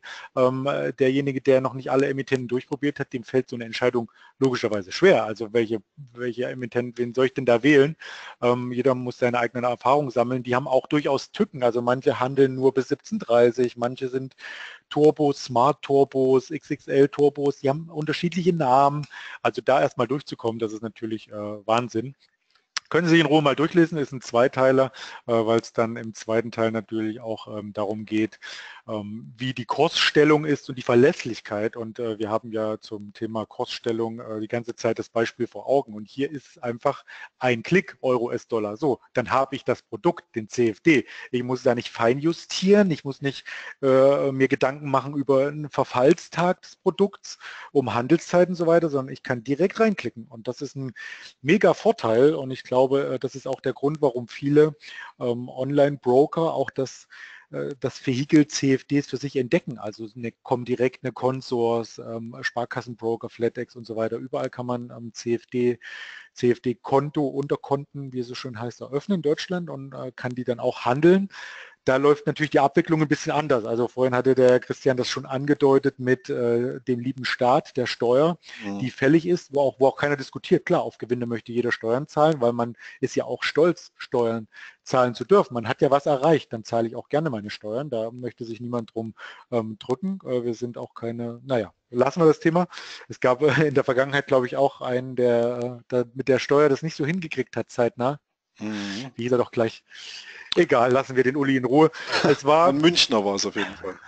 ja, ja, also auf jeden Fall ist es so, dass äh, bei einem deutschen Broker, auch die Frage kommt häufiger, ähm, die Abgeltungssteuer sofort abgezogen wird und auch abgeführt durch den Broker selbst. Also das heißt, wenn man diese 96 Euro oder 100 Euro am Tag erwirtschaftet hat, bleiben auf dem Konto über Nacht, wenn das gebucht wird, dann nur noch eben dann 74 übrig. Der Rest geht ähm, ans Finanzamt, wird direkt abgeführt. Vorteil, man muss sich um nichts kümmern. Nachteil, es ist einfach eine doofe Rechnerei, finde ich. Also man hat dann, wenn man zwei, drei Minus-Trades hat, ähm, zahlt man natürlich keine Steuern, ähm, dann wird das mit den kommenden Plus-Trades wieder verrechnet, ähm, dann zahlt man auf die wieder keine Steuern, also da läuft im Hintergrund äh, so ein Unterberechnungskonto bei der Bank ab, was für die Banken enormer Aufwand ist, wo man selber, wenn man das Trading-Tagebuch führt, äh, ganz schöne Herausforderungen in Excel hat, um das alles bewältigen ähm, mhm, zu können. Das finde ich spannender, wirklich so einen Report zu kriegen, ähm, netto netto quasi oder brutto brutto, wie man sieht, und am Jahresende auf die Summe brav die Steuern zu zahlen und fertig aus. Und da, ja. da, da gleich mal zwei Punkte, genau. Beim Euro US-Dollar, wie gesagt, da eine kleine Anmerkung, das ist ja kein CFD bei uns, ne? Muss man noch dran denken. Aber das war vorhin in dem, in, in dem Wortlauf bei dir äh, so, so rausgekommen. Liebe Leute, wir haben ja auch den Goldpreis als Interbanken-Spotpreis, also es ist sozusagen kein Derivat, sondern eben hier der, der, der Interbankenhandel, wo die Big Banks sich da beteiligen und da wird auch bei uns Silber und Gold im Währungssymbolen ausgedrückt, äh, XAU oder XAG, Schrägstrich US-Dollar sind dann entsprechend die Währungssymbole Gold, Silber, die dann hier am Spotmarkt im Interbankenbereich abgehandelt werden. Und CFDs natürlich sind dann die Indexprodukte oder Aktien-CFDs, die wir haben, ähm, oder eben auch ein Future-CFD, wo man sagt, also DAX Future CFD, wo man sagt, das sind praktisch dann natürlich solche Derivate, die drauf sind ähm, und dann da dargestellt werden. Zur Steuer sei gesagt, die Frage kam nämlich auch von Tahir, äh, Tahir ähm, wie es bei uns ist sozusagen, also da wir ja den äh, Sitz äh, regulatorischerseits nicht in Deutschland haben, ist es so, dass wir oder der Kunde selbst am Jahresende praktisch ein Protokoll, das ist eine E-Mail ganz kurz nach dem Motto, ich brauche für, den, für das Finanzamt ähm, einen Nachweis des, des Accounts, Gewinn- und Verlustberechnung. Und dann kriegt sie dann praktisch auch mit einem Stempel von uns äh, da entsprechend ein Statement zugeschickt mit euren äh, Positionen, Gewinn, Verlust äh, entsprechend aufgeschlüsselt, dann nochmal ein abschließendes Papier dazu. Und es gibt äh, je nach Finanzamt Steuerberater, die dann, äh, nicht Steuerberater, sondern Finanzbeamte, die dann nochmal nachfragen, noch eine Beschreibung dazu haben wollen, was sind jetzt Swaps oder dies oder jenes. Aber im Prinzip reicht das Dokument dann tatsächlich aus, was dann praktisch von unserer von unserem Backoffice an Sie rausgeht. Aber da ist es natürlich anders als der Andreas das vorhin sagte im deutschsprachigen Raum. Da wird es gleich abgebucht, was natürlich bei Verlusten ein bisschen blöd ist, weil ähm, da kann man nichts gegenrechnen, es sei denn natürlich die Bank rechnet das intern gegen, aber bei Gewinnen wird immer gleich gezahlt und der Verlust steht erstmal so zu Buche. Ähm, anders ist es bei uns, dass das praktisch am Jahresende vom Trader selber die Pflicht ist, diesen Report anzufordern und natürlich dann beim Finanzamt entsprechend anzupreisen, zumal man ja auch Verluste aus früheren Zeiten bzw. des Vorjahrs ja auch damit Gewinnen des laufenden Jahres verrechnen kann. Also unterm Strich sollte man das durchaus machen. Ähm, ähm, aber letztlich, wie gesagt, kann man es anfordern und sollte der Finanzamtbeamte irgendeinen speziellen Wunsch haben, dann gibt es eigentlich nichts, was wir nicht machen können. Das heißt, der Kundenservice würde da auch ein separates Schreiben aufsetzen zur Not, aber wenn da ein Stempel drunter ist, das mag der deutsche Beamte sehr. Und sowas haben wir tatsächlich auch noch, gerade für die Behördenstuben Deutschlands. Ähm, dann sieht das schon immer ganz schön äh, mit Charme befleckt aus. Und wie gesagt, da reicht dann eine E-Mail und dann haben Sie das. Also passt soweit. Ähm, ich hatte in der Tat, um äh, hier nochmal von früher eine kleine Story zu erzählen. Ich glaube, die Geschichten von früher, die ähm, oh. haben wir alle ein bisschen ja, petto. Lass mal. Die kommen vielleicht auch ganz, ganz unterhaltsam an. Und zwar hatte ich ähm, immer quartalsweise die Orders von damals Comdirect zugesendet bekommen und das wurde in der Tat ausgedruckt. Also am Anfang kamen immer Briefe, so jeden Tag dann 30, 40 Stück für jede Transaktion ein Brief mit Porto. Irgendwann äh, rief mich dann der Kundenberater an und sagte, Herr Müller, haben Sie was dagegen, wenn wir das sammeln? Habe ich gesagt, ich habe gar nichts dagegen. Ich brauche es ja nicht zeitnah. Ich sehe das ja im Internet und in meinem Trading-Tagebuch, was gelaufen ist. Da brauche ich nicht die Briefe. Ja, dann hat er das Ganze ähm, zusammen gefaltet oder weggeheftet, dann habe ich quasi quartalsweise so einen riesen Karton gekriegt, wo dann sechs, sieben große Leitsordner drin waren, alles schön weggeheftet. Und ich dachte, dass ich äh, damit das Finanzamt beglücken kann. Oh habe nur mal habe nur mal einen mitgenommen und dann hat der, die Finanzbeamtin, äh, meine Sachbearbeiterin, ähm, gesagt, äh, sie möchte das dann doch nicht alles einzeln durchgucken, ob was nicht digital, ob ich es digital hätte. Mhm. Ja, und äh, hat ihr mein Trading-Tagebuch natürlich nicht gereicht, weil es nicht offiziell war. Ja. Also musste ich äh, meinen, meinen Kundenbetreuer bei der Comdirect bitten, mir das digital zu liefern und da waren sie kurzfristig ähm, an ihre Grenzen gestoßen. Also laut äh, der damaligen Aussage musste ein äh, Praktikant einige, viele Stunden uh, da noch extra sein, um das mal ja, die hatten wohl kein System, wo es als CSV ähm, exportiert werden konnte. Ja. Die haben natürlich die Trades auch digital, keine Frage, sonst hätten sie die Ausdrucke nicht machen können. Aber ob das jetzt extra für mich war, weiß ich nicht. Es gibt ja mehrere, die aktiv an der Börse sind. Äh, durchaus, bei dem durchaus. Ja. Und äh, jedenfalls kam dann irgendwann die CD und dann habe ich die CD ähm, dem Finanzamt ganz stolz überreicht. Die Sachbearbeiterin war im Urlaub, die Vertretung war da und da sagt doch die Vertretung zu mir, ähm, bringen Sie das doch mal bitte ausgedruckt vorbei. Oh ich war drauf und dran, die Frau zu Herzen. Ja, also was, was will man da machen? Ja, und ich habe das auch schon von anderen Tradern gehört, dass da teilweise jeder Finanzbeamte das irgendwie anders möchte. Der eine möchte eine CD, der andere, dem reicht wenn man das im Mandelbogen N oder sonst wo äh, Kapital äh, Dingsbums, bin kein Steuerexperte, wie man hört, ähm, einfach nur als Endsumme vermerkt und der dritte möchte wirklich die Ausdrucke und ja, viel Spaß. Also setzen Sie sich persönlich doch mit dem Beamten in Verbindung und fragen Sie, wie er es denn gerne hätte. Denn jeder, wie gesagt, mag es anders und es gibt keinen Standard leider in Deutschland. Mhm. Und da ist, da ist wiederum diese Abgeltungssteuer bei deutschen Instituten ein Vorteil, weil das Ganze digital schon äh, fertig Abläuft. ist. Ja? Also muss ich da, ja, ja. Ja, das stimmt, das stimmt. Aber gut. Vollkommen richtig, vollkommen richtig. Jetzt haben wir die, äh, sagen wir, das Pendant auch ein Stück weit abgearbeitet. Die Märkte, wie gesagt, sind jetzt hier noch ein Stück weit im Schlummermodus. Mal gucken, ob da jetzt noch ein bisschen was geht zu den Amerikanern. Ähm, äh, Hans, hier auch mir noch eine Frage. Äh, wie viel könnte ich denn mit 1000 Euro oder einem 1000 Euro Konto im Forex-Handel zum Beispiel beim Euro-Dollar bewegen? Kontraktgröße. Ähm, wie gesagt, ja, Hans-Joachim, das ist, äh, insofern kannst du mit 1000 äh, Euro tatsächlich ja schon anfangen, da Erfahrung zu sammeln und je nach Hebelart, ja, wir können, äh, wie gesagt, den Hebel justieren äh, von 1,50, 1 zu 100, 1 zu 200, 1 zu 400 bei den Major-Pairen. Im Prinzip würdest du ja dann praktisch äh, mit einem Hebel von 1 zu 400 praktisch äh, ein, äh, mit einem 1000 Euro Konto so gut ich das jetzt äh, ableite, 400.000 Euro praktisch bewegen können. Du musst aber bedenken, dass du dann ähm, also eine Lot im Forex-Handel sind 100.000 Einheiten. Das wäre praktisch ein, ein, ein vier Lot äh, die du dann praktisch sozusagen da mal abfeuerst und als Margin hinterlegst. Und wenn sich der Euro-US-Dollar, also die vierte Nachkommastelle, um einen Punkt bewegt bei vier ähm, sage ich mal, Lots als solches, also bei vier Handelseinheiten, dann bist du hier in einem Bereich von, ich sag mal, rund 9 bis 10 Dollar pro Punkt. Das heißt, ein Pip ist in 40 Dollar oder 40 Euro ungefähr, wo es dann sich äh, nach oben und unten bewegt und wie beim DAX Future, wo ein Punkt 25 Euro sind, reden wir hier über einen enormen Hebel, um Gottes Willen. Ja. Wenn das für dich läuft, dann hast du dein Kapital äh, deine 1000 äh, Euro Einzahlung äh, relativ schnell verdoppelt, aber es kann eben auch ganz schnell gegen dich laufen und dann ist eben die Margen auch mit einem Gegenlauf weg.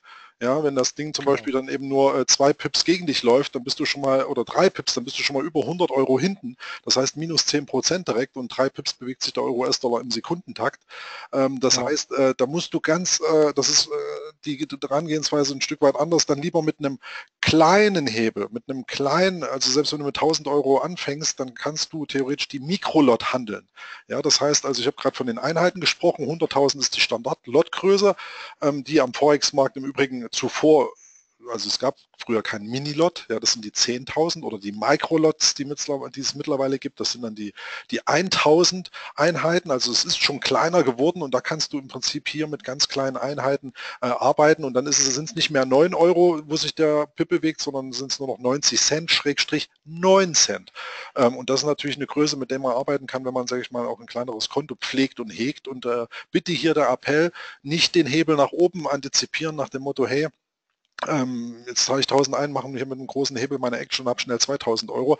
Das Geld ist schneller weg, als man gucken kann. Hier geht es eher darum, Markterfahrung zu sammeln. Und mit dem Micro-Lots, also wirklich die äh, Mindest Einheitsgröße im Forex-Markt, das sind dann eben 1000 Einheiten, da ist man im Prinzip eben auch schon dabei, ähm, mit einem 1000 Euro Konto sich da ein Stück weit bewegen zu können und verliert halt äh, keine Euro-Beträge, sondern Cent-Beträge, wenn es gegen einläuft. Ja, aber es geht um das äh, Sammeln von Erfahrung und ähm, da, wie gesagt, bitte nicht das äh, Traden oder auch das äh, Anlegen oder Handeln äh, mit, ein Stück weit Casino verwechseln. Das darf man nicht tun, weil sonst ist das Geld wirklich schneller weg, als man gucken kann.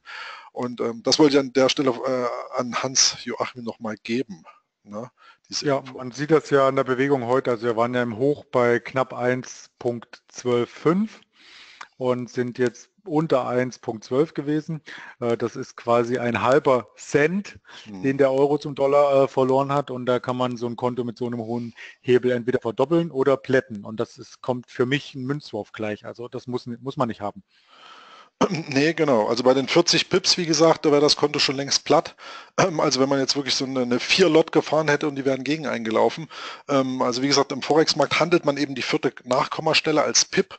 Äh, bei Yen-Pairs ist es die zweite Nachkommastelle, aber ohne es zu kompliziert zu machen, die Pip oder der PIP ist praktisch die, die Recheneinheit, der Punkt sozusagen am Forex-Markt. Wenn man die vierte Nachkommastelle handelt, dann ist man da, wie gesagt, mit äh, standardisierten Lotgrößen am Markt schon sehr aktiv, aber da muss man dann auch Konten haben, die in dem Bereich 25.000, 30.000 Euro plus gehen ähm, und jetzt eher nicht im Bereich 1.000 Euro und äh, in dieser Range da dann lieber die Micro-Lots handeln. Dafür gibt es die auch. Die 0,01 ist das dann praktisch wirklich die kleinste Einheit oder 0,1 sind dann eben die 10.000.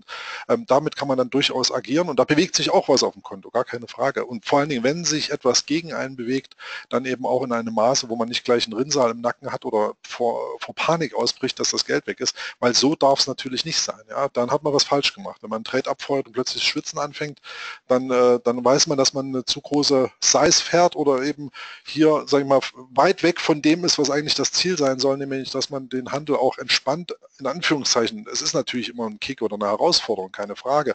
Das will ich jetzt nicht verallgemeinern, aber es ist trotzdem so, dass man trotzdem eine gewisse Relaxedheit an den Markt bringen sollte und das geht sicherlich nicht, wenn man überhebelt ist.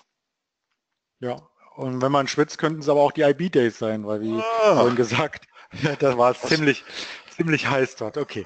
Ähm, vielleicht noch als Einschub, ähm, weil wir das erwähnt hatten, mit neben dem Beruf traden. Also der Vorteil ist, um es mal ganz klar herauszuarbeiten, ja auch, also ich habe drei Vorteile herausgearbeitet, man muss keine grundsätzlichen Entscheidungen treffen. Wenn Sie Unternehmer sind und Trading ist eine Unternehmung, finde ich. Man kriegt sofort Feedback vom Markt, ob die Position richtig oder falsch liegt. Man macht eine Steuererklärung, man macht eine Bilanz, man äh, äh, bereitet sich vor, man geht irgendwie in die Akquise, guckt sich neue ähm, Geschäftspartner, Kontenmodelle, Broker, was weiß ich an. Also man kümmert sich darum, äh, man bildet sich weiter in dem Bereich, man hat eine gewisse Technik, mit der man am Markt arbeitet, denn der MetaTrader muss ja auch irgendwo laufen. Also ein schneller Rechner wäre nicht schlecht. Es muss kein High-End äh, 12-Monitorsystem sein aber ähm, der Rechner sollte schon ähm, gewissen Anforderungen genügen, um da schnell rein und rauszukommen und die Software einen nicht gleich rausschmeißt.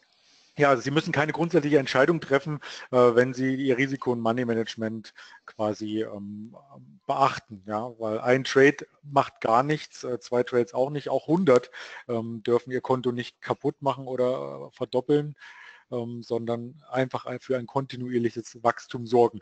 Der zweite Punkt ist, äh, Sie haben auch keinen Druck, Gewinne erzielen zu müssen, wenn Sie es neben einem Beruf machen, denn Sie wissen, dass Sie mit Ihrem äh, Beruf oder mit Ihren anderen Tätigkeiten, das können ja wie gesagt auch Mieteinnahmen, Tantiemen, sonst was sein, Ihr Grundeinkommen gesichert haben.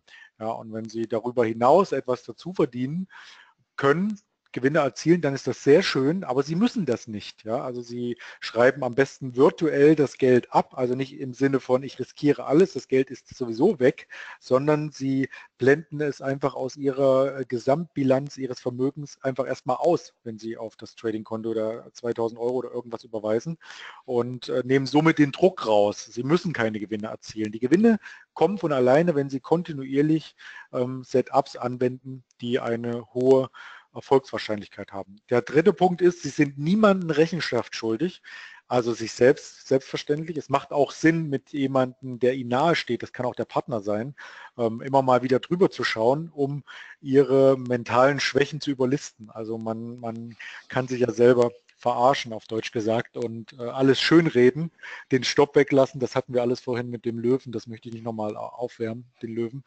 Ähm, man, man kann sich ja selber in die Tasche lügen und sagen, ja, pff, ja das, ich wollte das so, oder heute ist ein Tag, da nimmt man keine Stopps, es ist Feiertag, oder, oder, oder, oder. Es gibt so viele Oder und Beweggründe, wo man etwas anders macht, aber wenn jemand aus der dritten Perspektive, also quasi ein Coach oder ein Partner oder jemand, der sich auch mit dem Thema vertraut gemacht hat, sie fragt, warum haben Sie genau diesen Trade an der Stelle eröffnet? Warum war der Stopp so weit weg, wenn er sonst immer 20 Punkte am Markt war? Dann müssen Sie das begründen können. Und wenn Sie das nicht begründen können, dann ist das Ganze ja nicht professionell. Ja, aber Prinzipiell müssen Sie niemanden Rechenschaft ablegen. Das unterscheidet äh, Sie ja auch von dem Hedgefondsmanager, der nicht aus dem Bauch heraus irgendwas machen darf, weil dann gibt es richtig ähm, Ärger, Ärger, Ärger. Genau, das wollte ich nochmal einstreuen, ähm, um das Thema auch ähm, abzuschließen, dass es durchaus Vorteile haben kann neben dem Beruf ein wenig zu traden. Wir wollen äh, aber auch die amerikanische Eröffnung nicht verpassen. Das ist der Dow Jones, der 24 Stunden läuft. Hast du die Frage eigentlich vorhin beantwortet? Ich bin mir jetzt gar nicht sicher, Andreas. Ähm, handelst du am Nachmittag jetzt dann doch lieber den Dow oder den DAX? Die hatte ich beantwortet mit sowohl als auch. Also Ach, ich schaue war's. mir im, im, im Dow ähm, den Chart an und das Gap. Da gibt es natürlich noch einen anderen äh, Dow Jones, den werden wir uns jetzt zuholen. Das war... Der New Yorker ähm, Session, den hast du schon drin da. Genau. Genau. Ja, aber das ist der, der rund um die Uhr läuft quasi. Unten hast du drin, unten Cash äh, NY. Nee, links auf der Seite bei der Marktübersicht hast kannst du, da kannst du rechts draufklicken und dann ein Chartfenster, da kannst du dir reinholen. Eins genau, ich hatte nämlich schon vorbereitet. Das ist der DAX. Das Chartfenster.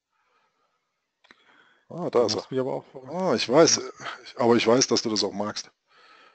Ein bisschen mag ich das, ja. Wir machen das äh, schwarz-weiß erstmal. Wir können natürlich auch, was habe ich denn noch äh, abgespeichert? Also man kann sich hier verschiedene Vorlagen ähm, abspeichern. Ich habe zum Beispiel hier auch mal schön rot-grün gemacht.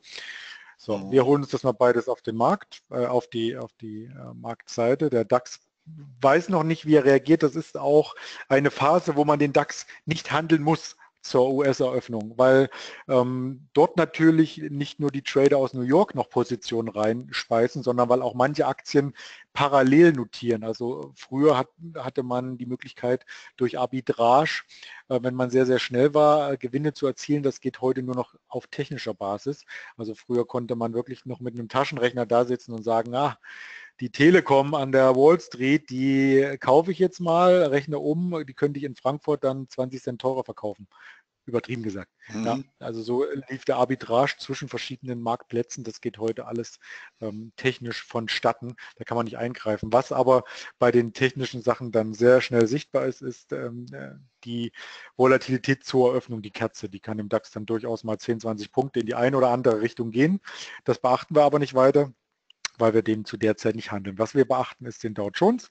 Ich ziehe mir mal hier hoch, dann habe ich einmal den Index äh, zur Handelszeit New York.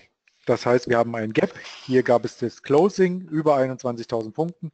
Hier gab es einen Aufwärtstrend. Alles super bis zum Handelsende.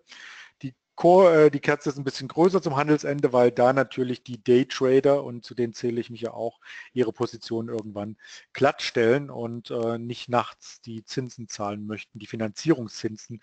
Denn, und auch das noch als Hinweis, sie handeln ja auf Margin, also sie handeln ja beim CFD-Handel ähm, etwas viel größer, viel, viel mehr Kapital, als sie auf dem Konto haben. Das haben wir jetzt äh, bestimmt schon fünfmal gesagt quasi.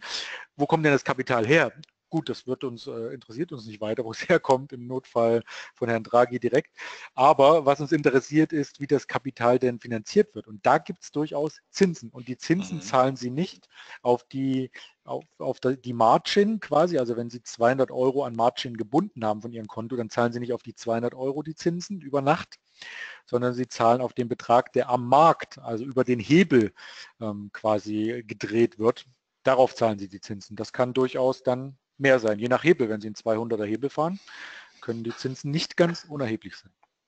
Gut, ja, auch ein Grund, warum Daytrading vielleicht ähm, ähm, cooler ist irgendwie, oder? Ja, ja, die Finanzierungskosten, die hat man definitiv. So ist es auch genauso im Währungsbereich, ähm, wobei hier noch der Aspekt eben von zinsstarken und zinsschwachen Währungen äh, in den, in, ins Kalkül gerät, wo, wenngleich wir natürlich äh, gerade im angelsächsischen westlichen Bereich oder auch Japan ist ja nun wirklich Fernost, aber da in Niedrigzinsphasen uns befinden, gibt es ja dennoch Länder, und da spreche ich jetzt nicht unbedingt von der Türkei, sondern eben beispielsweise von Australien oder Neuseeland, ähm, die hier eben doch durchaus noch Zinsen über eins haben ja, also sag ich mal Leitzinsniveaus ähm, und das sind äh, auch Leitzinsdifferenzen, Währungsdifferenzen, die man dann eben im Prinzip in der Nacht auch zahlt, Schrägstrich auch einen positiven Ertrag bekommen kann, wenn man eben eine zinsstarke Währung gegen eine zinsschwache Long spielt. Umgekehrt, wenn man die Short spielt, die zinsstarke Währung gegen die zinsschwache, zahlt man hingegen Zinsen. Das sind auch Finanzierungsgebühren, ähm, die sich aufgrund der Leitzinsdifferenzen ergeben. Und ja, da fallen in der Nacht tatsächlich Kosten an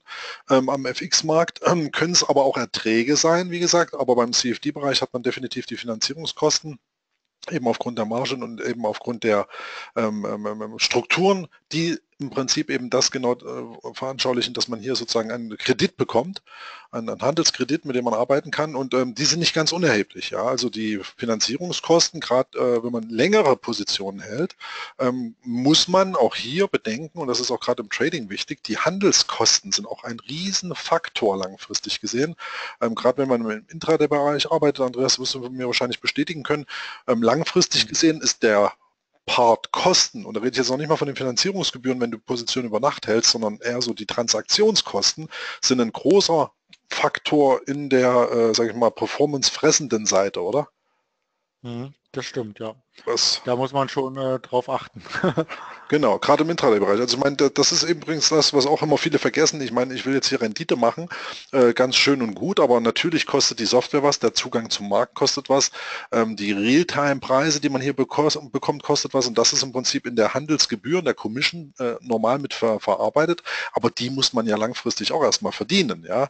Und das äh, wird bei vielen auch so ein Stück weit unter den Tisch gekehrt und Deswegen ist es auch wichtig, dass Sie einen günstigen Zugang zum Markt bekommen. Ja? Deswegen achten Sie ruhig mal auf Spreads, gerade im Währungsbereich. Ähm, ich sage mal, im Indexbereich sind wir hier mit einem Punkt ähm, relativ gut im Markt positioniert. Wir haben auch im letzten Jahr massive Senkungen vollzogen. Wir waren im Indexbereich, sind wir 60 Prozent von unserer Kommission runtergegangen. Das ist äh, mega viel gewesen. Ähm, das hat trotzdem den Kunden äh, zuvor auch keinen Abriss getan, über uns zu handeln, weil sie wussten, dass wir im Prinzip hier keine Spielchen treiben mit, mit euch als Tradern, sondern im Prinzip hier eben keine Interessenskonflikte haben und euch durchrouten an den Markt. Ähm, der Punkt ist aber einfach, durch diese Senkung eben ähm, ist das Handel natürlich auch günstiger geworden, eben gerade im Indexbereich um 60 Prozent. Und das ist doch schon eine Hausnummer, die indirekt zur Performance-Verbesserung auch beiträgt. Deswegen achtet da ruhig auch auf Kosten und eben auch auf die Spread-Größen. Gerade im FX-Bereich kann ich das nicht oft genug sagen. Wenn Sie Euro-US-Dollar handelt, bei irgendjemandem im Bereich 2 Pips, dann habt ihr in Anführungszeichen eine Verzehnfachung des Spreads, weil der Interbanken-Spread ist bei 0,2.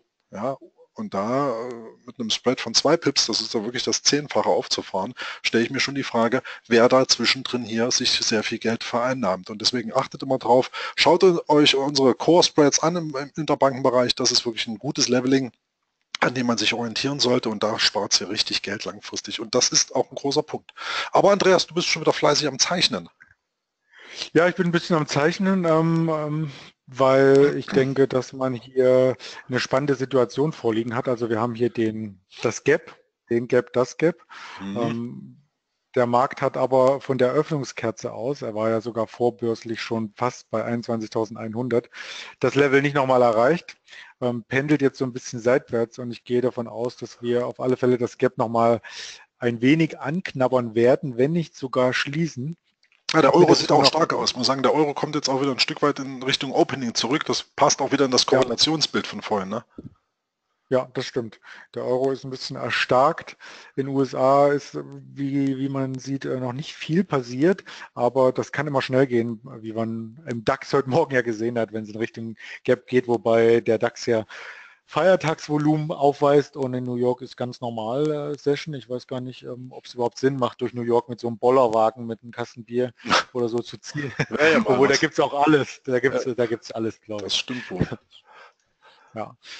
Ja, und äh, spekuliere ich, es gibt zwei Möglichkeiten darauf zu spekulieren. Die eine äh, Version ist, dass man sich in dem Index, der rund um die Uhr getaxt wird, den Aufwärtstrend markiert oder die Aufwärtstendenz und sagt, okay, es kommt nochmal zurück, beziehungsweise wenn es zurückkommt, dann gehe ich ähm, auf steigende Kurse, das ist der Stundenchart, also das heißt, wir haben hier im Stundenchart langfristig eine Aufwärtsbewegung seit äh, 23. Mai, also schon durchaus ein paar Tage. Wenn man das Ganze ein bisschen runterbricht, ähm, auf dem 5-Minuten-Chart äh, sieht man hier kaum was, das ist dann derselbe wie hier, nee, das ist sogar der M1, ich mache den mal auf M5, so, dann sieht man, dass es hier eine, Aufwärts, eine Aufwärtstendenz gibt, also keine saubere Linie, aber die Tendenz ist vorhanden. Und ähm, man kann entweder darauf spekulieren, dass es nochmal abprallt, um dann neue Hochs einzuziehen in den Markt oder dass wir in das Gap hineinrutschen. Und wenn wir in das Gap hineinrutschen, ist das für mich ähm, ähm ein schönes Signal in Richtung dieses offenen Gaps, was bis hier runter geht, sogar noch ein kleines Stück weiter zu traden. Dazu kommt ja, die Unterkante ist in etwa die runde Marke von 21.000. Äh, es macht also doppelt Spaß, wenn es losgeht. Man sollte hier nicht äh, unbedarft reinklickern. Das macht dann überhaupt keinen Sinn, sondern ähm, das Signal abwarten letzten Endes. Der Markt gibt das Signal vor und davor muss man nicht ähm, aktiv werden. Ja, was ist ähm, im DAX passiert? Nichts.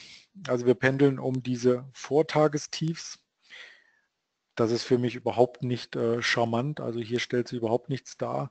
Ähm, was, eiert was, wirklich so ein bisschen umher, ne, muss man ganz klar sagen. Genau, also vielleicht äh, hättest du das nicht sagen dürfen mit mittags, äh, dass man sich ein Bier gönnt, sondern hättest du Disziplin aufrufen sollen, dann wären auch noch mehr äh, jetzt am Markt und nicht die Hälfte verschwunden. Ja, das ist jetzt wetterbedingt. Ich weiß nicht, wie es bei dir aussieht, aber hier knallt die Sonne äh, im süddeutschen Raum so richtig mal runter jetzt. Also wir, wir nähern uns wirklich warmen Temperaturen und ähm, äh, ja, ich, das, der Flow scheint sich jetzt ein bisschen zu beruhigen. Aber ich meine, wenn die Amerikaner hier mal einen Satz machen, ich denke, da wird der ein oder andere dann doch noch äh, hier auch mit aktiv werden beim DAX. Das würde ich zumindest ja. mal vermuten. Ne? Ja, also Sie müssen ja auch über die internationalen Korrelationen so ein bisschen äh, nachziehen. Mhm. Ähm, da gibt äh, der DAX koppelt sich ja nicht wirklich ab. Also der Aber DAX war ja eine Zeit lang mal so, gerade weil du das Thema ja ansprichst. Ne? Also ich meine, wir hatten ja beim, bei den Amerikanern äh, Allzeithochs noch und nöcher und der DAX, der notierte noch 1000 Punkte tiefer. Das hat er jetzt innerhalb kürzester Zeit mal so ein bisschen aufgeholt. Ne? Ja, weil es in Europa diese Unsicherheit gab mit Frankreich und so weiter. Griechenland, das, das hat gerade niemand auf der Uhr übrigens, Griechenland. Ähm, mhm. die fallen ja schon wieder um neues Geld. Ähm, da ist noch nicht das letzte Wort gesprochen. Und es war damals auch noch mit, was ins Gewicht fiel, der fallende Euro-US-Dollar, also der fallende Euro zum Dollar. Mhm. Und das ist sehr, sehr interessant. Also da wurde von fast allen großen Instituten schon die Parität als ausgemachte Sache ausgerufen. Ja, ich hätte es ja auch gern gesehen, muss ich sagen. Ja, bis 1-0. Äh, Wo war es? Na genau. Oder genau. 3,80 oder sowas. Ja, ja. ja, und dann war es auch schon wieder zu Ende. Und ähm, letzte Woche habe ich erst gelesen, dass die ganzen Großen still und heimlich ihr äh, Sentiment geändert haben, dass sie jetzt davon ausgehen, dass der Euro als starke Export geeinte Nation. Jetzt ist der Brexit äh, von der Abstimmung her durch, noch nicht umgesetzt, aber erstmal ähm, wie sagt man so schön, verwaltungstechnisch in die Wege geleitet. Mhm. Ja, also das ist auf alle Fälle getan und ansonsten kann Europa jetzt stabilen Zeiten entgegenblicken. Es wird auch davon ausgegangen, dass es in Deutschland keine starken Verwerfungen gibt zur Bundestagswahl. Ähm, vielleicht war das ja auch so ein bisschen ähm, wahlkampfbedingt, dass der Obama mit ähm, Angela Merkel ja. heute zusammen Auftritt hatten. Sie hat ja was sehr Witziges gesagt. Also man, man stellt sie ja sich immer so ein bisschen als ja, mir fehlen jetzt die richtigen Worte, es wird ja aufgezeichnet, man stellt sich so ein bisschen ähm, konservativ vor, sagen wir es mal so. Ja. Ähm, ist sie aber nicht. Also die macht durchaus sehr, sehr viele äh, Scherze.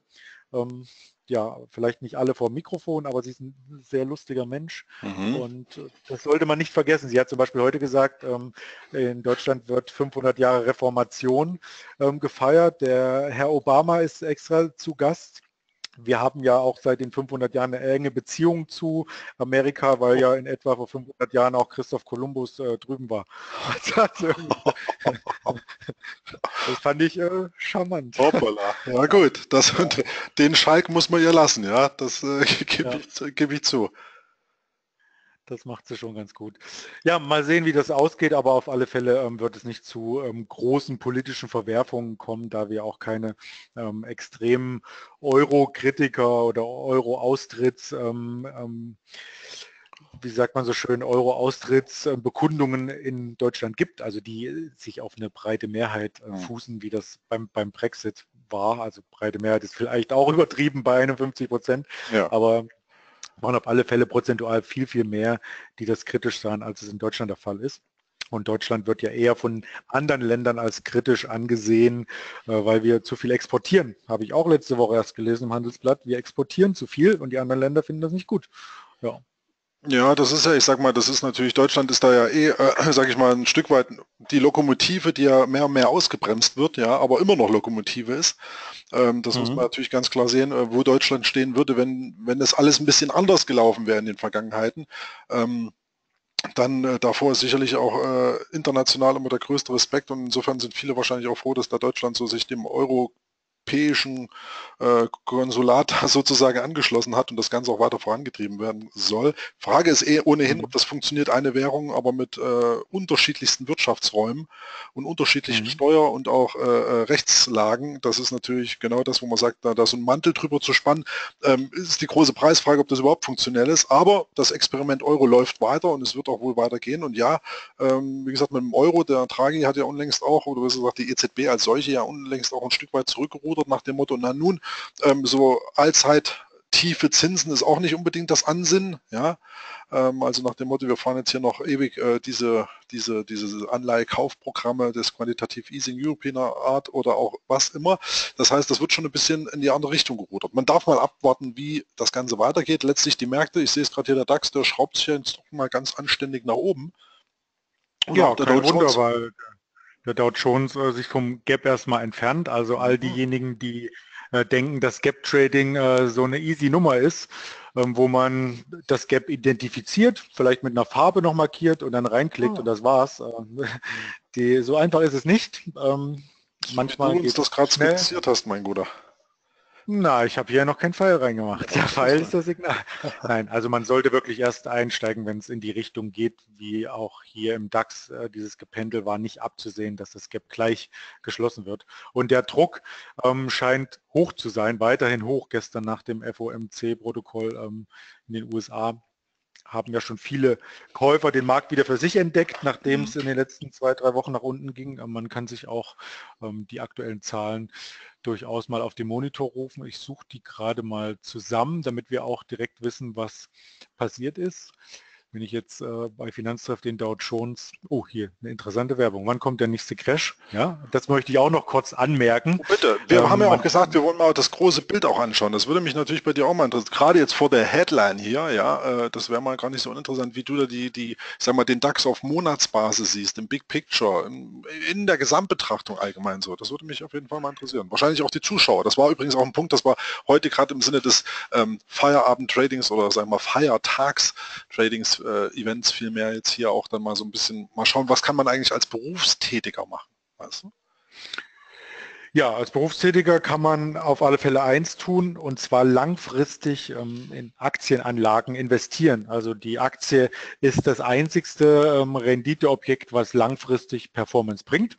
Damit meine ich nicht die Aktie, also eine, dass man das ganze Geld in ein Unternehmen steckt und sich dann freut, ob das funktioniert oder nicht. Auch wenn man solche Charts sieht wie bei Apple, die wirklich äh, seit Jahrzehnten ähm, steigen, heißt das nicht, dass das in der Zukunft genauso sein wird. Mhm. Breit diversifizieren, Aktien kaufen, weil das ist ähm, im Niedrigzinsumfeld wie äh, Frau Merkel das Wort geprägt hat, alternativlos ist es wirklich. Also das ist, äh, sage ich jetzt nicht nur so, sondern ähm, das sollte man tun. Das verstehen die Amerikaner sehr, sehr gut. Mhm. Die machen das ein Leben lang und das haben ja auch kein Sozialsystem. Ne? Das ist natürlich genau, auch die, die müssen das machen. Also in Deutschland wird es leider noch nicht so gefördert, ähm, wird aber noch kommen, denn unser, unser Renten- und Sozialsystem ähm, ist auf Dauer nicht so finanzierbar. Also das ist das Grund, der Grundsockel für die Altersvorsorge. Investieren Sie in Aktien. Ja, also da möchte ich keine hervorheben, einfach breit. Also es kann auch passiv sein über ETFs oder irgendwelche vielleicht auch ein bisschen aktiver über Fonds, die Ihnen ähm, oder Fondsmanager, die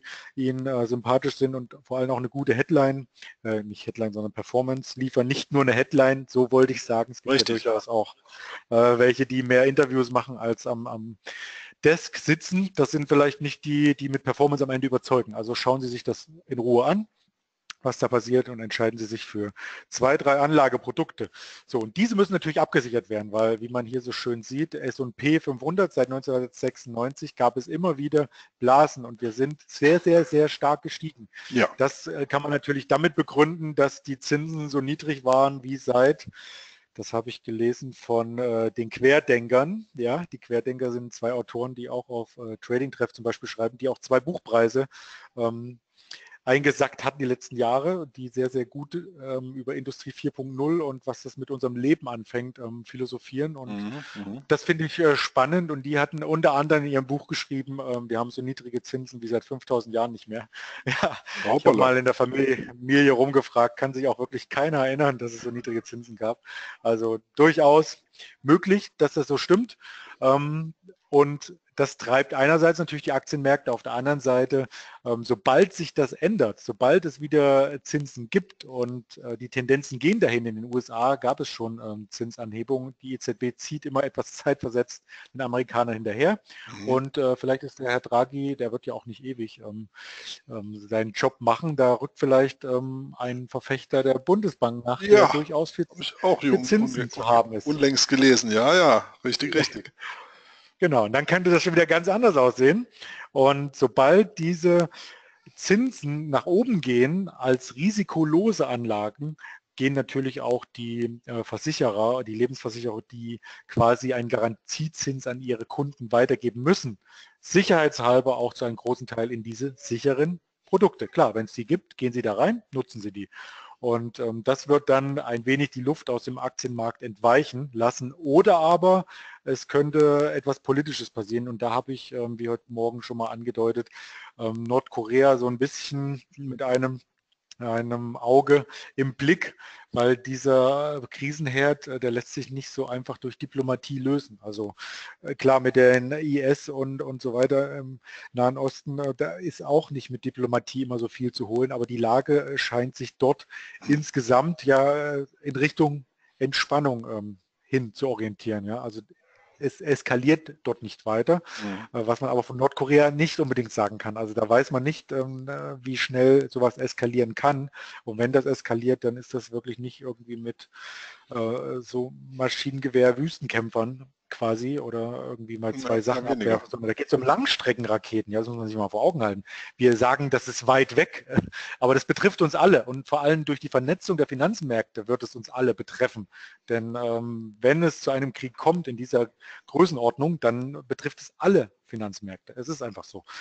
Ja, und da gibt es natürlich zwei äh, Möglichkeiten. Ähm, ich möchte gar nicht weiter auf die menschliche Seite eingehen. Das macht mich dann, glaube ich, nur wütend, was, was da passiert. Mhm. Ähm, dann gilt es natürlich für die großen Versicherer, ähm, die Bestände an Aktien abzusichern, denn so eine Versicherung wie die Allianz, die muss man auch hintergrundmäßig wissen, die kaufen nicht irgendwelche großen Aktienblöcke und verkaufen sie unterjährig wieder und verkaufen sie dann nächstes Jahr wieder, wenn der Analyst sagt, das ist super. Nein, die kaufen sie wirklich über Jahre hinweg behalten sie die im Bestand und haben die auch nicht im Keller liegen und äh, gucken immer mal mit einer Inventurliste, ob alles noch vorhanden ist, sondern verleihen diese Aktien. Und das ist auch nochmal ein Thema, was man vielleicht im anderen Webinar ausbauen kann.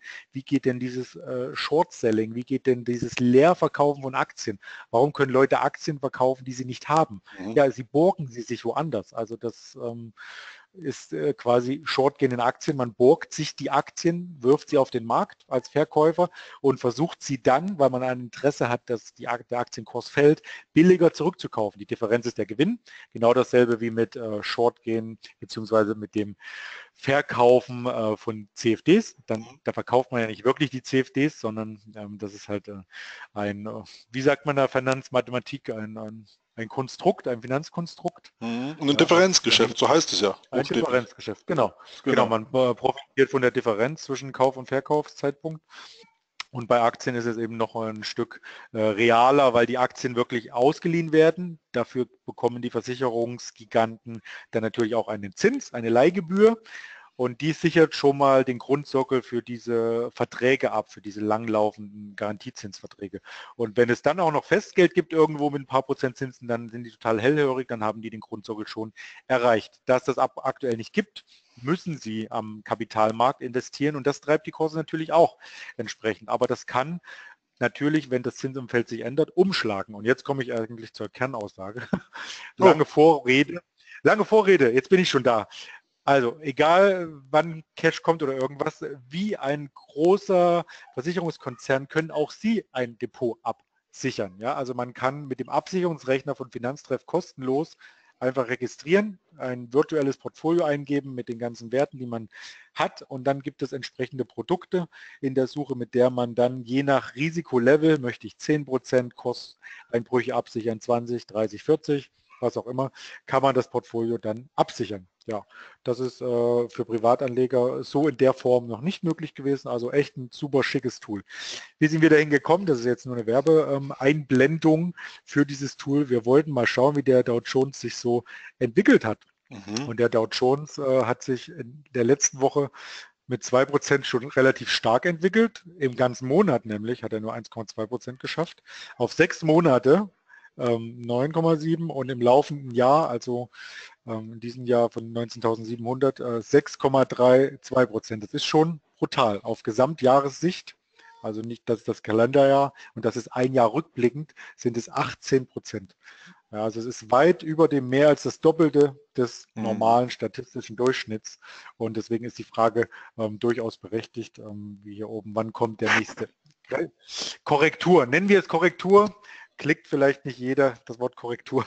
Da ist Crash ein bisschen dramaturgisch ja, wertvoller. medial ja. natürlich dann immer ein Stück weit aufgebauscht, weil es gibt ja, ich sag mal, gefühlt, ja. sicherlich sind wir schon vom Zyklus her sehr, sehr weit gereift. Also ich hätte ja auch so zwischen 2014, 2016 mit einem top an den Märkten gerechnet, ja, rein zyklisch mhm. bedingt.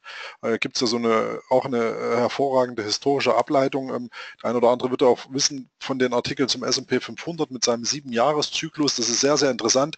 Da sind wir aber gerade schon drüber, deutlicher drüber. Ähm, es mhm. gibt Ausfälle in solchen Phasen. Das hatten wir zuletzt auch zur Dotcom-Phase. Dann steigt der Markt einfach signifikant weiter und lässt den Zyklus aus. Aber es gibt mhm. eben immer Auf- und Abwärtstrends und ihr habt es ja gerade am Chartbild auch gesehen vom vom, vom, vom Andreas eben mit der, mit der Crash-Einblendung.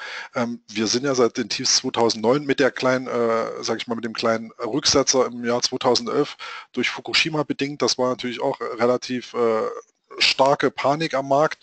Ähm, war es aber so, dass man seit 2009 generell gesehen äh, nur anstrebende Kurse hat und ein Zyklus geht so sieben, acht Jahre und wir sind jetzt dann schon bald im Jahr 8 Nummer 9, äh, wo man einfach sagt, jetzt äh, ist es zyklisch wirklich heiß, aber the sky is the limit, ja. Ich meine, solange das Geld billig ist, solange Assets gesucht werden, solange eben auch gewisse Blasen an den Märkten weiter befeuert werden, ähm, kann das mhm. alles weitergehen. Aber du sagtest selber, und da ist ja auch das, wo wir uns so ein bisschen jetzt so raus, also ein bisschen weg vom Intraday-Markt zum globalen äh, hingeben, dass man sagen muss, äh, auch die Big Banks rechnen langfristig wieder mit Zinssätzen im Bereich von 4 bis 5 Prozent, ja, und wir sind aktuell bei null.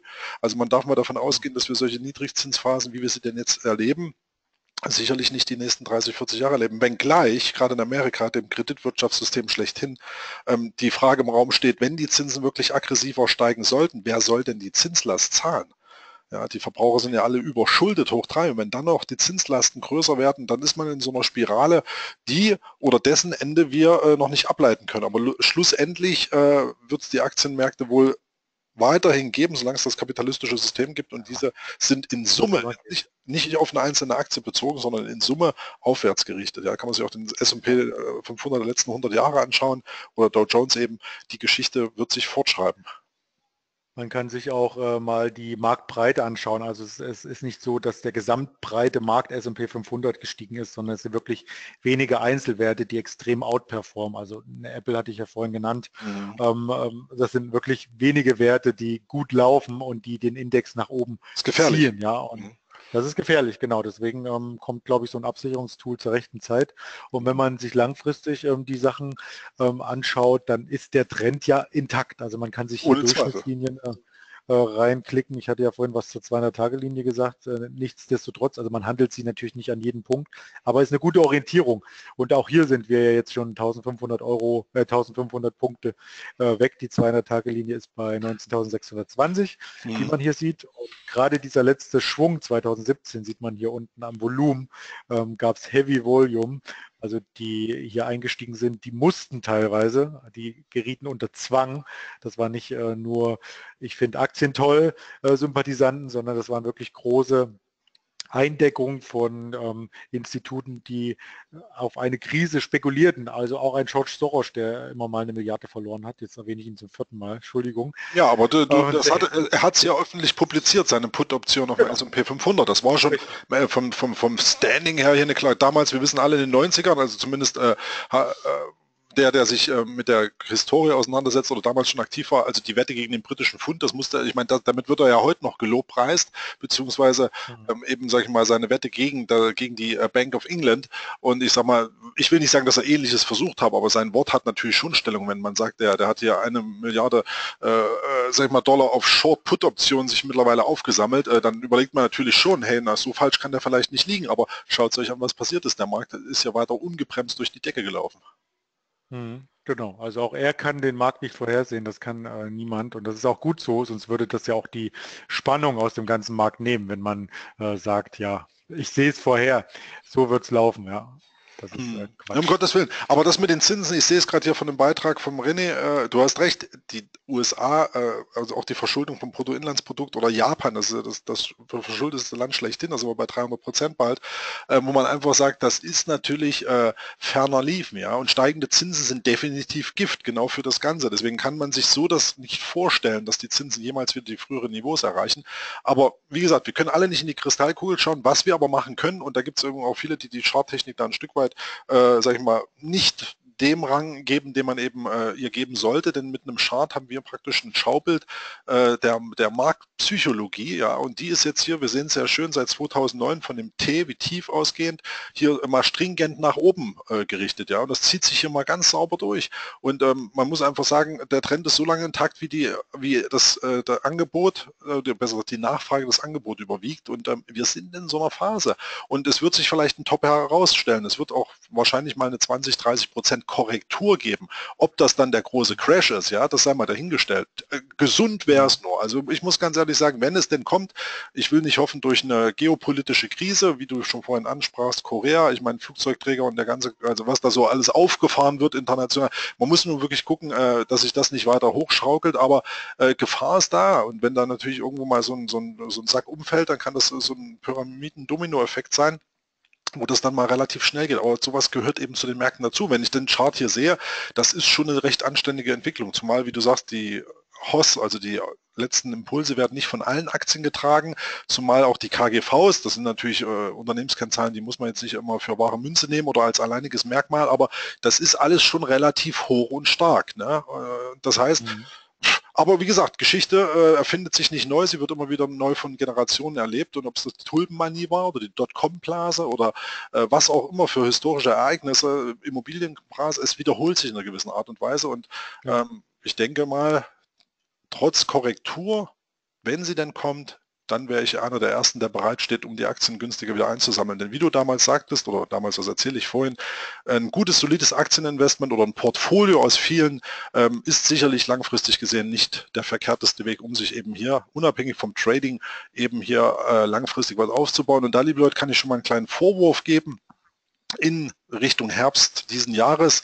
Äh, seid da mal gespannt, was wir da zur WOT auffahren werden. Schrägstrich werden wir da auch noch in unserem Newsletter äh, entsprechende Kundtuung äh, verbreiten im Sinne eines, äh, eines neuen Projektes, eines großen Tools, was wir da anlegen, was eben auch in die Richtung geht, dass man sich selbst sozusagen um seine Anlagen kümmert. Und ich sagte ja vorhin auch, dass wir eine Vermögensverwaltung haben, da auch Prop-Trader durchaus suchen, die fähig sind, aber wir natürlich auch eigene Systeme und Inhouse-Leute äh, äh, haben, die dann sozusagen hier mal ein Stück weit nach draußen treten und das wollen wir im weiteren Jahresverlauf dann eben auch breit zugänglich machen. Und da dürft ihr euch mal drauf freuen. Da gibt es vielleicht auch die eine oder andere Alternative, wo man sagt, hey, da könnte ich doch auch mal eine Anlageform oder da habe ich eine Anlageform entdeckt, die praktisch neben meinem eigenen Trading einfach so eine Art Differenzierung meines Portfolios darstellt.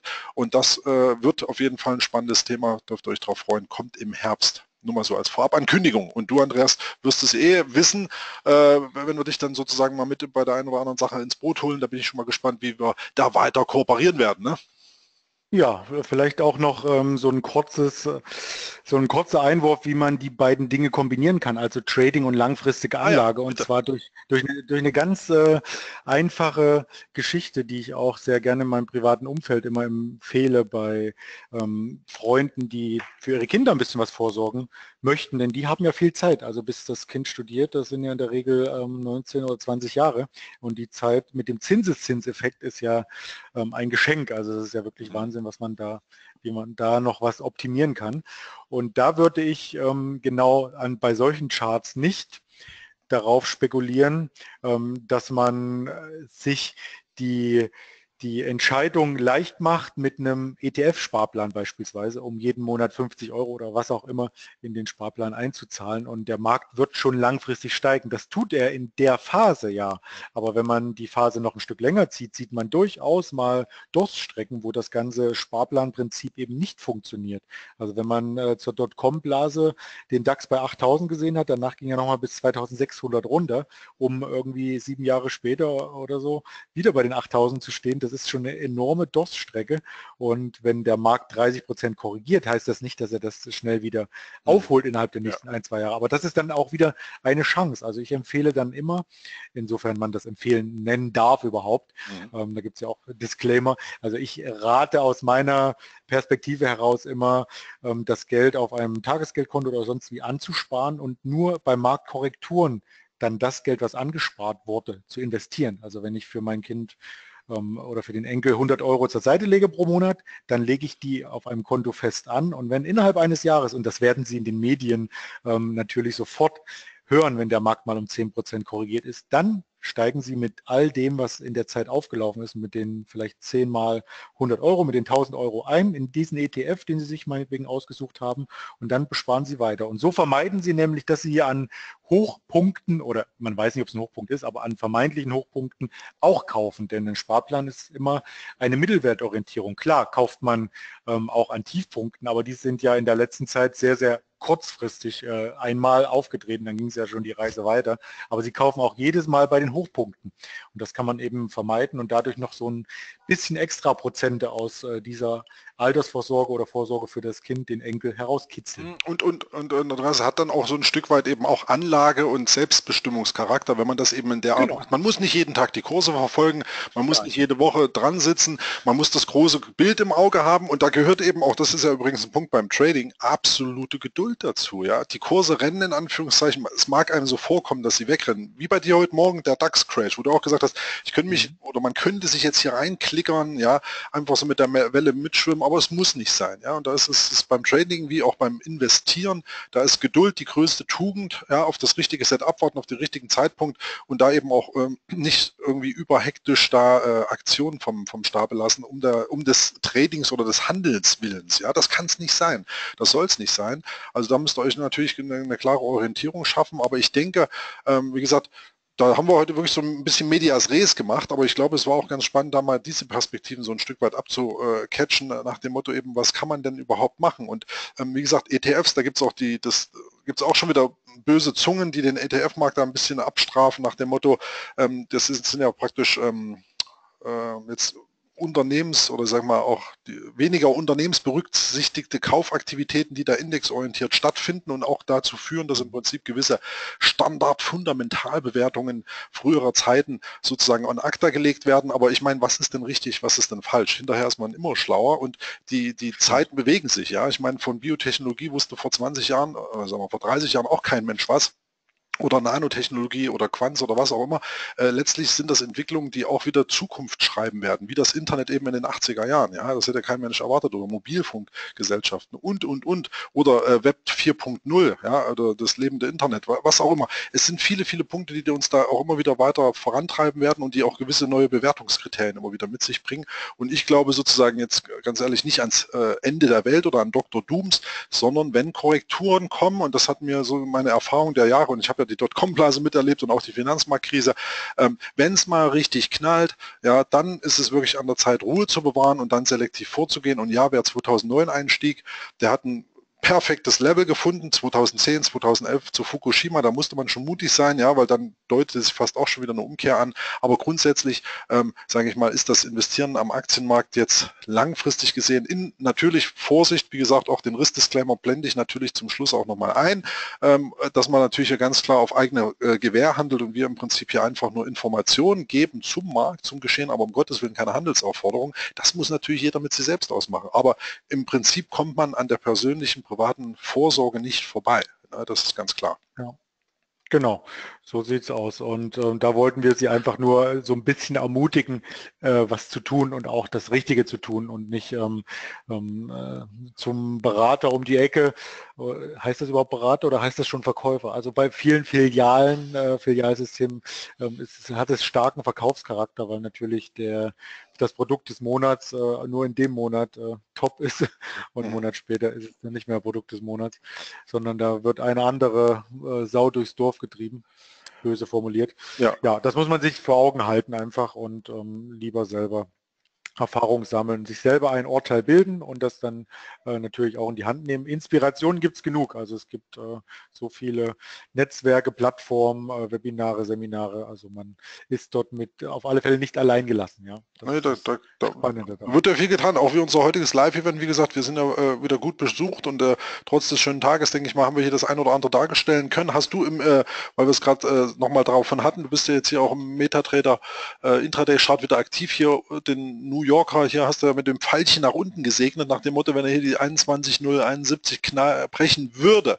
wäre das für dich theoretisch dann so eine Art Short-Trigger, oder? Sehe ich das das genau, das, mhm. das, das, siehst du richtig, ähm, weil nämlich ähm, das Eröffnungsniveau lag auf der Linie und wir haben in der Konsolidierung genau diese Linie getroffen, um wieder jetzt uns nach oben zu bewegen. Jetzt haben wir gerade ein neues Hoch gemacht mhm. und wenn wir hier durchrutschen äh, würden, wäre mein erstes Ziel natürlich die Gap-Kante, 54. Dann könnte es genauso aussehen wie hier diese Konsolidierung, also dass man hier so durchkonsolidiert und einfach im Trend weiterläuft. Ähm, mhm. mhm. Und ob wir ins Gap ein äh, dringen. Das entscheidet sich dann natürlich erst hier. Das kann man jetzt nicht sagen. Und jeder, der auf das Gap spekuliert hat, ähm, der wird vom Markt eines Besseren belehrt. Denn der Markt zieht einfach weiter, auch wenn es brutal aussieht, auch wenn wir in, äh, wie viele Punkten sind wir dann am, am Allzeithoch, das sind nur noch äh, 50, 60, ja. ich glaube 21.000, ja, irgendwo so in der Drehe.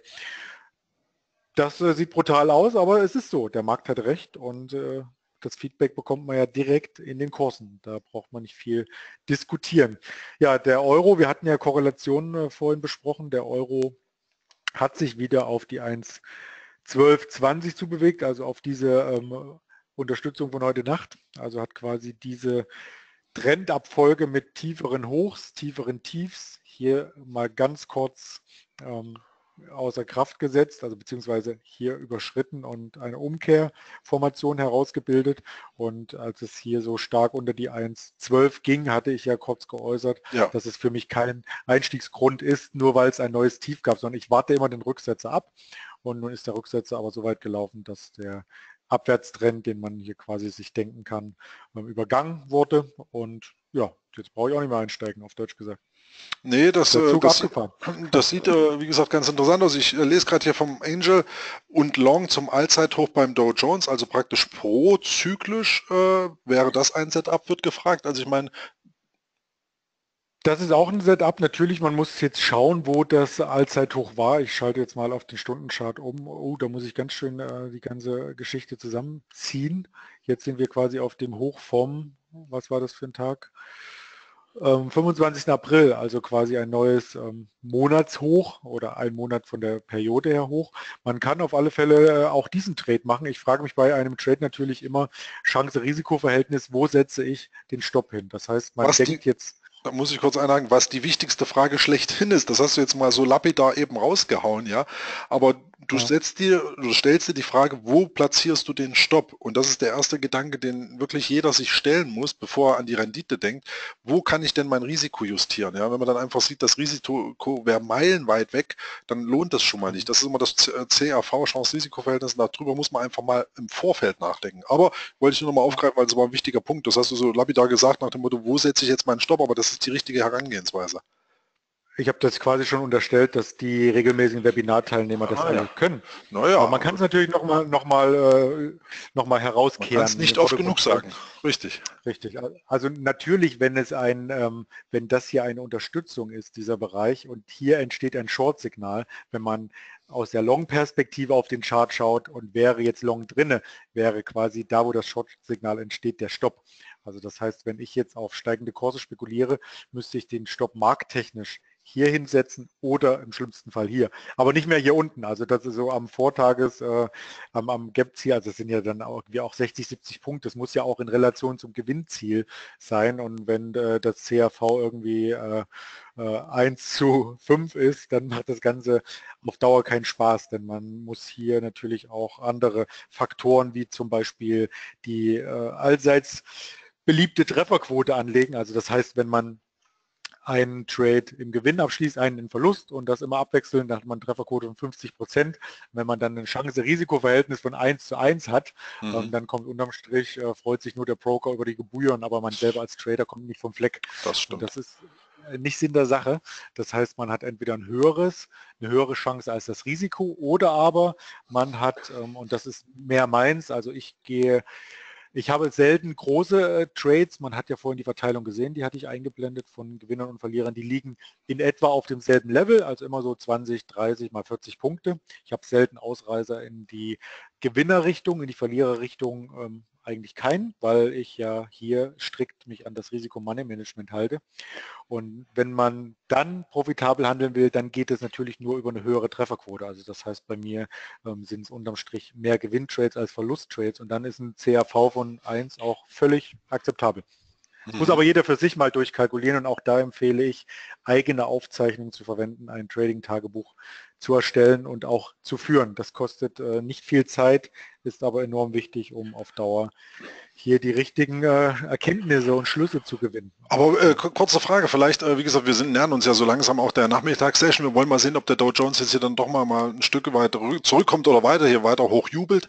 Ähm, du hast ja vorhin auch mit dem äh, Tagebuch äh, geführt. Also ähm, ich selbst bin dazu übergegangen, Screenshots zu machen und praktisch die äh, Bilder, das nutzt du ja selber, du machst ja viele Screenshots, zeichnest da nachträglich ein, sozusagen dich dazu konditionieren oder schreibst du in den Trading-Tagebuch tatsächlich Entry, Exit, äh, Beweggrund des Einstiegs, äh, Psychologie, wie hast du dich gefühlt oder wie, wie umfangreich kann ich mir so ein Trading-Tagebuch bei dir vorstellen?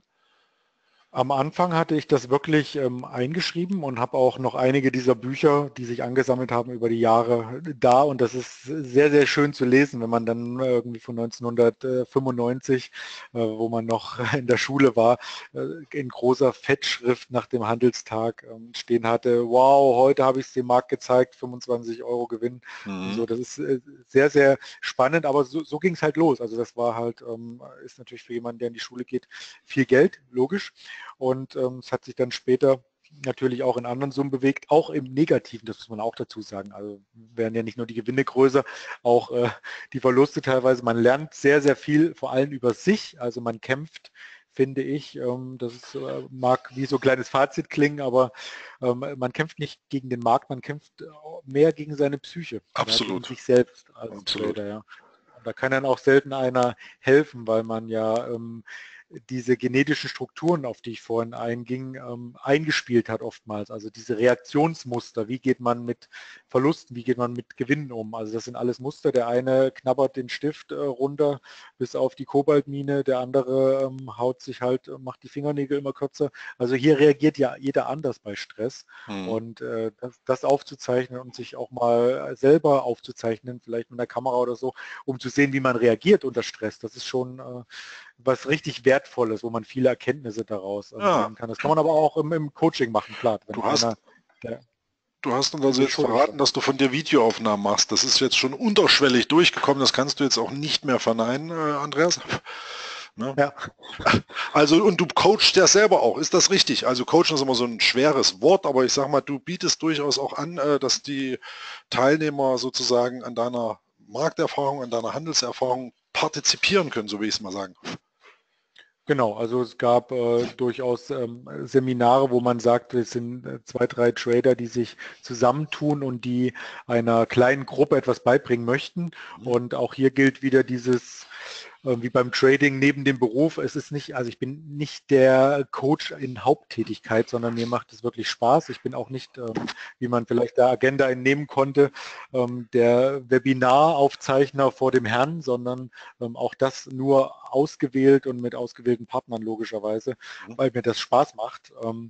Und da, so soll es auch bleiben. Ja, mhm. und mhm. ich möchte nicht irgendwie so eine, äh, so eine Deutschland-Tour oder irgendwas machen, wie gibt es ja einige, die das eben machen, weil sie auf ihrer Visitenkarte Coach draufstehen haben, weil das ihr Job ist letzten Endes, wo mhm. es auch durchaus Zertifikate und Rankings gibt. Also das ist ein, ein ehrenwerter Beruf, den, dazu kann man sich auch schulen lassen. Das Fachwissen gibt es ja nicht dazu, aber dieses Wissensvermitteln, das mhm. kann man natürlich geschult bekommen. Mhm. Ähm, das ist äh, so ähnlich wie bei Akademikern. Also da wird ja auch, wenn man auf Lehramt studiert, wird ja einerseits das Wissen vermittelt, was später an die Kinder weitergegeben werden muss, aber andererseits natürlich auch, wie lehrt man. Ja, also das mhm. ist auch mhm. sehr, sehr wichtig.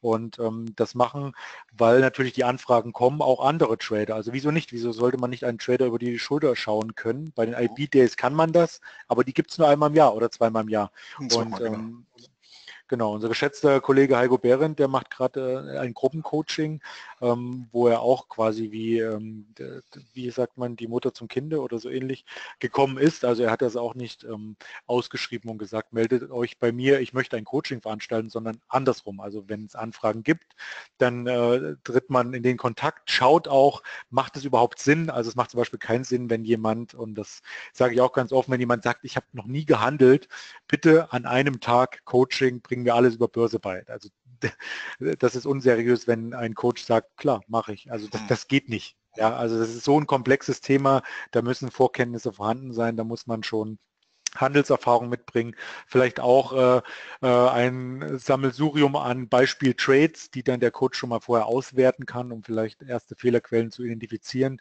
Und dann ist viel im, im äh, Beisammensein mit dem Menschen an sich, was man machen kann. Also deswegen finde ich auch, das hatte ich auch schon eingangs gesagt, ähm, diese ganzen Video-Coachings und Bücher nicht so effektiv wie das Zusammenarbeiten, das direkte, ähm, der direkte Schlagabtausch, wo man Fragen stellen kann. Ja, mhm. Das finde ich ähm, effektiver unterm Strich.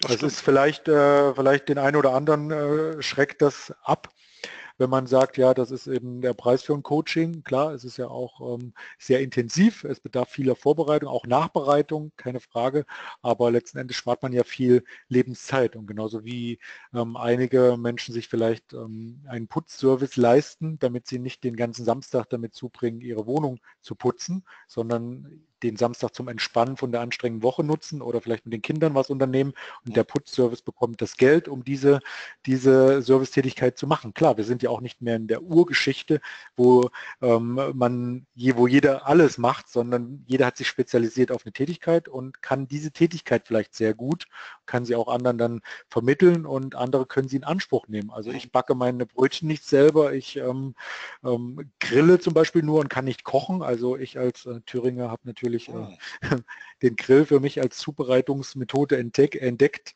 Ähm, mehr kann ich da auch nicht zaubern, aber das reicht, klar. Und für alle anderen Sachen gibt es dann äh, andere Menschen, die das natürlich spezialisiert besser können. Und ähm, das richtige, den richtigen ETF aussuchen kann vielleicht auch ein Finanzberater viel, viel besser als ich. Aber ich kann dem Finanzberater intraday vielleicht ein paar Sachen aufzeigen, die er so noch nicht gesehen hat. Das hast du mal, äh, sage ich mal, fundiert erklärt. Das Wort zum Sonntag hätte ich fast gesagt. Aber nein, das war das Wort zum Vatertag an dieser Stelle. Und wir haben es jetzt 16.30 Der Markt, wie gesagt, ist sich ein bisschen uneins. Ähm, so richtig Dynamik will heute nicht aufkommen. Wir haben ja äh, jetzt newstechnisch, sage ich mal, auch alles verdaut, wenn ich das so richtig ähm, im Blick habe. Lass mich noch mal kurz schauen auf die, auf die Agenda. Wir haben jetzt hier 16.30 Öl. Öl kommt, Erdgas, ich, oder Erdgas. Erdgas, Erdgas ist das, ja. ne? Dann haben wir 19 ja. Uhr noch eine Rede von der EZB äh, in Lissabon mh, hm, vom Vizechef. Die nehmen wir mit, oder? Hm, die, die, nehmen wir noch mit. Die nehmen wir noch mit. also ich denke mal, wie gesagt, im Groben Liebe Teilnehmer, jetzt vielleicht hier noch direkt der Aufruf, ihr habt den Andreas hier, den Kameraden, vielleicht noch mal ein paar äh, spezielle Fragen, die ihr noch mal an ihn habt. Ähm, Im Prinzip, ich denke mal, der Markt, wie gesagt, das ist ja schön eingezeichnet von dir. Wir werden mal sehen, ob er den Aufwärtstrend bricht der Dow Jones, ja, hier im Minutenticker, und ob er hier das Level 21.071 mal nach unten auflöst, also hier Ärger oder mal ein bisschen Druck reinkommt. Ansonsten jetzt nochmal die Gunst der Stunde nutzen zum, zum Fragen an unseren heutigen Gast. Wie gesagt, Andreas, schön, dass du dir die Zeit genommen hast heute am Feiertag. Ich denke, es war wieder eine sehr, sehr runde Sache. Ähm, kam auf jeden Fall gut mhm. was rüber. Du hast auch gut Content rübergebracht und insofern ganz, ganz wichtig. Ähm, dass wir hier sozusagen da wieder die Schnittstelle gefunden haben. Und das ist auf jeden Fall sehr, sehr interessant. Eine Frage, die noch reinkam, ist die, und zwar, äh, sind sogar zwei, drei, ähm, nach dem Motto, ob du schon mal drüber nachgedacht hast, Berufshändler zu werden. Ich habe, wie ich schon erörtert hatte, durchaus in der Vermögensverwaltung schon mal gearbeitet. Ah. Aber ich fand, fand das sehr, sehr trocken, weil der Austausch ähm, im Grunde genommen nur mit Excel stattfindet und mit der Buchhaltung letzten Endes. Und äh, es gibt sehr, sehr wenige, mhm. die in solchen Bereichen so eine Kombifunktion haben, wie zum Beispiel ähm, ja, der kleine Vermögensverwalter um die Ecke hat äh, die Kombifunktion, weil er die Kunden berät, also ins Kundengespräch geht, mit Kollegen sich unterhält und dann aber natürlich auch ähm, die richtigen, zur richtigen Zeit die richtigen Produkte bei den Kunden einbucht. Also das Trading, also auf einer anderen Zeitebene, aber es bleibt Trading, das amerikanische Wort. Er handelt ja für die Kunden, dessen Auftrag, das ist die Vermögensverwaltung mhm. letzten Endes. Aber in äh, so einer großen Vermögensverwaltung würde ich es für mich und für meine ähm, Skills, wie man so schön sagt, ähm, als nicht, nicht spannend genug finden. Und äh, der ein oder andere hat mich ja auch auf anderen Plattformen schon gesehen, also zum Beispiel bei Next Markets ähm, werfe ich öfters mal Trading-Ideen ein, jetzt bei JFD das Webinar heute, ähm, auch auf Infoveranstaltungen. Oder die Uni hatte ich erwähnt, wo ich am Börsenführerschein als Referent ähm, die Studenten fit mache in Sachen Zertifikate. Trading und so weiter. Also das sind alles Sachen, die mir in, im Mix totalen Spaß machen und das Trading. Aber eins alleine ist für mich äh, nicht abwechslungsreich genug und das Trading an sich, es wird immer gefragt, beziehungsweise ich war beim Bewerbungsgespräch bei dem Vermögensverwalter sogar mal dabei, wo einer neu komplett eingestellt wurde.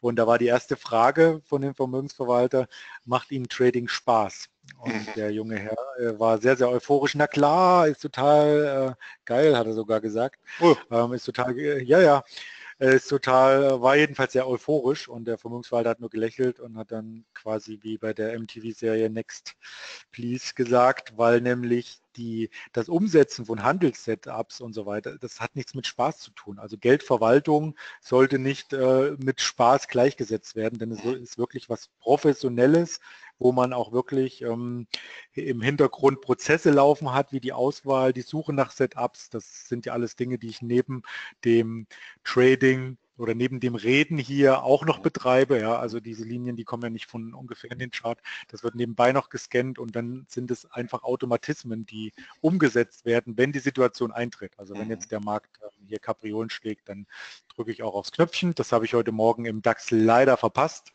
Da war ich schon so weit mit Einzeichnen und so. Den letzten Knopfdruck habe ich dann nicht getätigt, weil ich auf den anderen Monitoren noch äh, zwei, drei PowerPoint-Folien rausgesucht hatte. Warum auch immer, es hat auf alle Fälle nichts mit Nervenkitzel, Adrenalinausstoß und so weiter zu tun, sondern es ist wirklich ein, ein Geschäft, ein Prozess, der immer wieder ablaufen sollte und ähm, der natürlich in Summe, weil man es von jedem Ort der Welt aus erledigen kann, Spaß macht. Aber ich möchte nicht den ganzen Tag vor einer Monitorwand sitzen. Das hatte ich einmal und ähm, mhm. ja, das hat mir, hat mir nicht äh, den ersehnten Wohlfühlgenuss am Feierabend gebracht. Und unter uns, was will man denn erzählen zu Hause, äh, wenn die Frau fragt, ähm, und was hast du heute erlebt? Und ich erzähle, oh, der DAX an zwei Retracement, dann noch das Pivot überrannt, Wahnsinn, weil der Euro, US-Dollar, dann hat der Draghi was gesagt und, und, und. Was sind denn das für Stories? Welche Frau oder welcher Partner allgemein wird denn aber doch nicht jeden Tag. ja, sicher. Also es ist doch interessanter, wenn man irgendwie sagt, okay, ich war zum Mittag äh, mit einem Ex-Kollegen essen, was der mir erzählt hat, was in der Firma abläuft. Ja, okay. Wahnsinn. Oder ich war im Fitnessstudio ähm, zwischendurch. Aber wenn man als Trader vielleicht äh, von 9 bis 10 Uhr das Gap gehandelt hat, hat seine Punkte im Sack und geht dann äh, alleine in die City, wo kein anderer ähm, Zeit für einen hat. Ja, also was es kann schon, es kann, es kann schon einsam sein, das Handeln, das ist ganz richtig. Ich meine, gut, die äh, heutzutage Facebook oder Skype oder äh, irgendwelche Internetforen, Chats, die haben das schon aufgeweicht, aber per se ist Training natürlich durchaus schon ein Beruf, das äh, neben den psychologischen Herausforderungen, denen man sich dem Markt stellt, ist es natürlich auch so ein gewisses äh, ähm, geschaffen sein dafür, dass man auch alleine zurechtkommen muss, seine eigene Unternehmung mehr oder weniger führt. Und das ist natürlich ganz klar. Da habe ich übrigens noch eine andere Frage, wo reinkommt. Also erstmal vielen Dank, klasse an uns, äh, kam hier schon mal positives Feedback rein, so rum. Ähm, aber eine Frage noch, was hältst du denn von äh, automatischen Handelssystemen, Andreas? Also mir persönlich ist jetzt noch keins begegnet, was ähm, unterm Strich über Jahre hinweg eine konstante Performance gezeigt hat. Also es gibt sehr, sehr viele, die kurzfristig extrem gute Renditen erwirtschaften, ähm, die teilweise in Marktphasen halt funktionieren. Ähm, sobald sich die Marktphase aber ändert, äh, funktionieren sie eben nicht mehr. Und nicht mehr heißt nicht, dass sie einen kleinen Drawdown haben, sondern dass sie komplett vor die Wand fahren.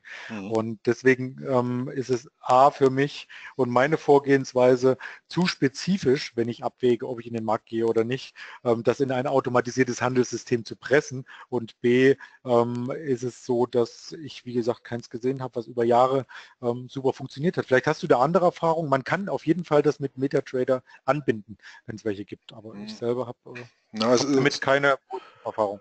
Automatischer Handel ist prinzipiell schon äh, äh, gut, ja, auf jeden Fall. Ähm, aber es ist auf jeden Fall so, dass man diese Robots oder Bots äh, oder Algos äh, zwangsläufig diskretionär überwachen muss. Ähm, also es gibt kein System, was man aufschaltet, liegen lässt und es wird durchweg Geld produzieren.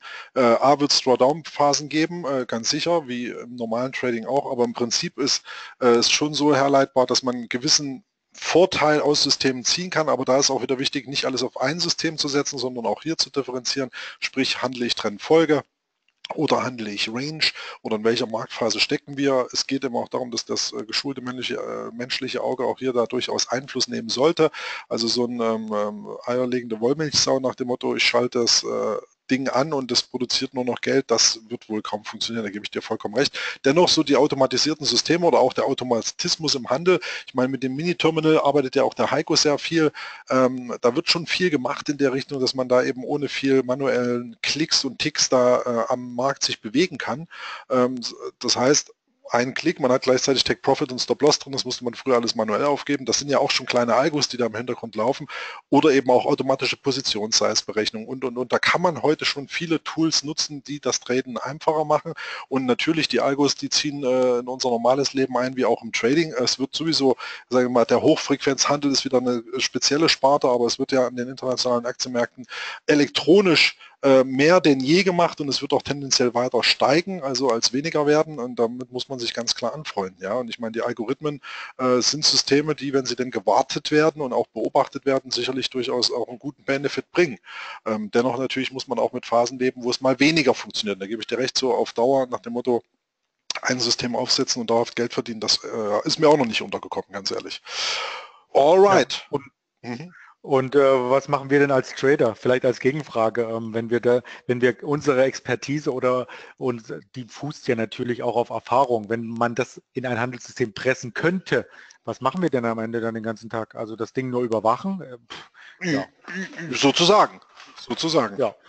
Okay und nebenbei zum Beispiel telefonieren und Webinare halten, nicht wahr? Also nebenbei hört sich immer so, äh, so flocks oder flapsig an, aber es ist ja tatsächlich so, ähm, da ist auch das, was du vorhin gesagt hast mit dem Beruf, eine ganz interessante Feststellung gewesen, dass man eben sich auch entscheiden muss, ist es etwas, äh, was mir einen Mehrwert am Ende des Abends bringt, wo ich einfach eben sage, das war ein erfüllter Tag äh, und reiner Berufshandel ist dann eben auch wirklich anstrengend, äh, gerade auch wenn man dann immer gemessen wird mit einem Benchmark, wenn man einen gewissen Performance-Druck hat. Das ist nicht ganz ohne. Also insofern die Frage durchaus berechtigt und deine Antwort aber auch auch zu 100 Prozent nachvollziehbar, dass man da wirklich äh, mit zweierlei Maß messen muss und das sicherlich nicht verallgemeinern kann, ob das jetzt gut oder schlecht ist oder ob das das Richtige für einen ist. Zumal auch eine Frage kam vorhin auch auf, die schließt sich da so ein bisschen ähm, im Sinne dessen, ähm, wie es denn ähm, mit der Positionsgröße ist, also mit der Size die man denn sozusagen am Markt handelt. Also ähm, in Sachen Emotionen gerade so ein Punkt gewesen oder eine wichtige Frage, ähm, die denn da hier ist. Ähm, ist es schwieriger zu, also wie ist es denn psychologisch? Ist es schwieriger zu treten und seine Zielrendite zu erwirtschaften, äh, je größer das Konto nominell ist oder auch eine äh, Emotion, äh, die dann abgeschaltet wird, wenn man immer ein Prozent vom Konto tretet? Kannst du da aus Erfahrung was sagen? Also da tickt jeder Mensch unterschiedlich. Ich habe einige Händler kennengelernt, die sagen, dass es ihnen überhaupt nichts ausmacht, ob da vorne oder hinten ähm, noch drei Nullen dranhängen. Mhm. Quasi also die dasselbe Setup, ganz nüchtern und äh, don't drink and trade ist ja das Motto heute, deswegen mhm. ganz nüchtern ähm, ein CFD genauso handeln können wie 100 oder, oder 500. Ähm, natürlich stößt jedes System an die Grenzen, also 500 CFDs, da bekommt man dann vermutlich auch nicht in jedem System sofort die Ausführung, sondern es geht so ein bisschen ähm, dann in die Ordertiefe, dass man abgestuft abge ausgeführt wird. Aber bei mir ist es so, dass ich gar nicht auf Prozente schaue, dass ich mir auch, die, ähm, also es hat mir sehr geholfen vor einigen Jahren, indem ich die Profit- und Loss-Zeile ausgeblendet habe, also dass ich die nicht vor Augen habe, weil man assoziiert ja öfters, auch das hatten wir heute ja schon durchgesprochen, noch einen Gegenwert mit der Geldsumme. Also wenn dann 50 Absolut, Euro ja. plus oder minus, ja, dann, dann denkt man so vor seinem geistigen Auge oder unterbewusst, ach, das wäre doch der Kinoabend gewesen oder was auch immer. Ja, und äh, um gar nicht in diese Versuchung hineinzukommen, ähm, blende ich das einfach aus und es sind Zahlen letzten Endes. Also das soll auch nicht arrogant klingen. Natürlich ist es Geld auf dem Konto, aber ich habe es ja gedanklich ähm, schon auf das Trading-Konto überwiesen und mich damit angefreundet, es könnte weg sein. Ja, ich, es würde mich nicht umbringen. Es darf nicht ähm, zu einer starken Einschränkung der persönlichen Lebensverhältnisse führen, wie man so schön sagt. Ja. Also man sollte nie mehr auf das Trading-Konto überweisen, als man verkraften kann. Das ist keine Geldmaschine, das Trading. Auch die Illusion müssen wir ganz klar ziehen. Ähm, es gibt natürlich auch Verluste und die sollten nicht wehtun. Und gerade wenn es mehrere Verluste in Folge gibt, neigen viele Trader dazu, das Risiko ähm, nochmal zu erhöhen, um mit ein oder zwei Lucky Punches die ganze Negativserie zu beenden. Aber wer sagt einem denn, äh, dass als nächstes Kopf oder Zahl kommt? Also das, das hat ja nichts mit, also man kann den Trade managen, aber man kann ähm, vielleicht auch die Wahrscheinlichkeit auf seine Seite ein Stück weit bringen, wo, wo der Markt hin tendiert. Aber man kann nicht mit Sicherheit sagen, wie die nächste Kerze sein wird. Ja, man kann mhm. aber folgende Variablen im Trading immer selbst beeinflussen. Das ist die Positionsgröße und den Stopp. Also das kann man immer beeinflussen und damit sollten Sie arbeiten. Also wenn das mal kein gutes Wort zum Sonntag ist. Richtig, richtig. Also an der Stelle muss ich auch sagen, das war im Prinzip auch auf den Punkt gebracht, exakt so, dass man da im Prinzip sich die Gedanken genau darüber machen kann, über das, was man beeinflussen kann, nämlich nicht, wo die Kurse äh, in den nächsten Minuten, Stunden, Tagen stehen, sondern einfach, wie ich in den Markt gehe, ob ich in den Markt gehe und wenn ich reingehe, wo mein Risiko ist und das eben im Prinzip ist die einzigste Möglichkeit, wie ich immer so schön sage, das einzigste, was wir kontrollieren können, ist das Risiko. Ja, also mit welchem welchem Risiko gehen wir in den Markt. Das ist eine, äh, eine Variable, die wir, eine Stellschraube, die wir äh, justieren können. Und alles andere, ob der Kurs steigt, fällt, ob wir in den Take-Profit gehen oder Stop-Loss, da haben wir keine Einflussmöglichkeit mehr. Wenn wir den Trade abgefeuert haben, on the market, äh, dann ist es so und dann hat der Markt alle Entscheidungen und Wichtig ist nur, dass man sich selber eben im Vorfeld schon den Plan zurechtgelegt hat, was passiert, wenn, dann, das ist ja auch mit der technischen Analyse so nach dem Motto, man spricht immer im Konjunktiv, es könnte das und dies und jenes und welches und wenn das, dann das, aber es sind im Prinzip auch Alternativszenarien, wo man sagt, okay, man ist bullisch eingerichtet oder ausgerichtet, wenn das so kommt, okay, wenn es anders kommt, dann theoretisch greift der Stopp und man könnte ein Short-Setup erwägen. Aber das gilt es dann auch wieder auf die Periode zu äh, projiziert zu bewerten und dann wieder eine, sich eine neue Meinung zu bilden. Und das Schlimmste ist eben halt, seine Meinung zu behalten an dieser zu äh, beharren, genau jetzt wegen der Geschichte nach dem Motto Crash könnte kommen oder Korrektur, das denken manche Leute schon seit einigen Jahren. Ähm, wie gesagt, George Soros lässt ja grüßen, den Namen will ich dann auch an dieser Stelle nochmal erwähnen. Ähm, wie gesagt, aber auch er hat irgendwann dann einsehen müssen, dass er schief liegt und hat wahrscheinlich dann wohl auch seine Verluste äh, da am Optionsmarkt realisiert. Ähm, wie das auch weitergeht, letztlich wird er sicherlich auch immer noch mal wieder versuchen, den einen oder anderen Hochpunkt zu erwischen. Letztlich das optimale Hoch und optimale Tief zu erwischen, darum geht es gar nicht, sondern Genau, das, das ist ja auch dieses, dieses Eichhörnchen oder mit einem genau. Kuchen kann man es äh, vergleichen. Wenn man viele Krümel isst, wird man genauso satt, als wenn man sich das größte Stück Kuchen klaut und äh, dann vielleicht bei den anderen am Tisch in Missgunst fällt. Und äh, zum, Short, zum Short Trade, na klar, man kann jetzt hier die abwarten. Ähm, man kann aber auch im Chart, also ich bin kein Freund davon, das Allzeithoch zu shorten, nur weil es ein Allzeithoch ist. Das hm, macht gar keinen Sinn. Macht gar keinen Sinn. Aber dadurch, äh, dass ich ähm, ja diese zwei Dow Jones äh, Indikationen oder die zwei ähm, Handelsparameter hier liegen habe, habe ich hier das noch herausgearbeitet. Ähm, das war heute Morgen quasi zur Handelseröffnung Cetra, das hoch und hier sind wir rangelaufen und die Kerzen sahen, sehen ein bisschen komisch aus. Das heißt, ich gehe hier short, das ist auch der letzte Trade, äh, über den ich heute spreche. Wir wollen so, ja dann auch, denke ich mal, äh, ja, absolut. Familie und so. Absolut. Ähm, hat ja jeder noch seine Verpflichtung. Ja, und da kann man zum Beispiel mit sowas arbeiten, indem man sagt, okay, hier gab es einen Bereich, wenn es wieder in diesen Bereich kommt, dann riskiere ich es mit meinem Standardstopp oder mit einem recht geringen Stopp. Und ein recht geringer Stopp sind bei mir 10 bis 20 Punkte, im Dow Jones eher Richtung 20 Punkte, weil der natürlich aufgrund des Punktwertes auch ja. eine viel höhere Schwankung hat. Ob es dann, ob der äh, Dow Jones dann hier durchbricht und dann durch diese Linie auf dieses Level kommt, vielleicht hier noch durchbricht auf die Gap-Kante kommt und vielleicht auch hier noch durch, das weiß ich alles nicht. Aber das kann man ja dann managen. Ja, also quasi, wenn man ähm, sich überlegt, dass man im Dow Jones genau dieses Szenario spielt. Ähm, hier sieht man es im Chart, dann schaue ich mir im 24-Stunden Dow Jones den Bereich an, wie die Kerzen sich hier verhalten. Da war jetzt nicht wirklich die große Euphorie vorhanden, deswegen... Hast du abgefordert, das ist wieder der typische Andreas, der dann an diesen Stellen mal wieder so ganz klangheimlich wie bei den IB Days, ich denke mir, ich mache das Opening und dann hast du schon wieder drei Trades platziert gehabt. Ähm, so machst du das aber, das ist deine Vorgehensweise. Aber du hast halt auch ein vorab kalkuliertes Risiko, wo du sagst, okay, genau. äh, das muss jetzt, äh, ist jetzt nicht blindlings draufgeschossen, sondern du hast hier sozusagen die Analogie im Chart gesehen und denkst, okay, wenn er da jetzt wirklich ausgebremst wird, dann ist das mal deine äh, Annahme, dass du hier gegen den äh, großen Trend natürlich gehst, aber einfach mal hier nochmal die Südrichtung spielst. Genau, und es gibt ja mal zwei Möglichkeiten. Ich hatte ja vorhin auch gesagt, man kann natürlich den Trend noch mitziehen, wie der Kollege im äh, Chat meinte, bis zum Allzeithoch, also noch 50, 60 Punkte. Aber ähm, nach unten, wenn man das Gap sieht, ist einfach mehr Platz jetzt ähm, vor, dem, vor den letzten Tagen im Chart, denn das Allzeithoch ist da durchaus schon jetzt drei oder vier Wochen weg, fünf Wochen sogar. Mhm. Ähm, Deswegen orientiere ich mich in den kurzfristigen Timeframes natürlich an der Periode, die dem aktuellen Kurs näher liegt, als irgendwie einen Gap oder einen Bereich zu suchen, was vor fünf Wochen mal war. Ja, also das haben auch die wenigsten kurzfristigen Trader noch im Blick. Das ist einfach aus dem Chart auch schon rausgewachsen. Ja. Mhm. mhm. Schön gesagt, schön gesagt. Wie gesagt, dein kalkuliertes Risiko hier knapp über 21, 107, 108 in dem Bereich. Da ist das Risiko und den Take Profit siehst du da im unteren Bereich 21,055 Schrägstrich dann die 21, äh, 71 als erstes da praktisch die, die horizontal. Ich würde, ich würde dann in so einem äh, Fall, oder was heißt ich würde, ist kein Konjunktiv, sondern ich werde, wenn es wirklich dazu kommt, dass diese Linie gebrochen wird und wir gehen hier hin, dann würde ich den Stopp auf Einstand ziehen, weil der Einstand ja letzten Endes schon ähm, hm. dieses wenn es so ist, das Doppelhoch darstellt, äh, was ich äh, sehr charmant finde. Und dann ähm, schaue ich über die MetaTrader App, denn man kann auch die MetaTrader über eine App bedienen auf dem Smartphone. Äh, so Überwachung nur, ne?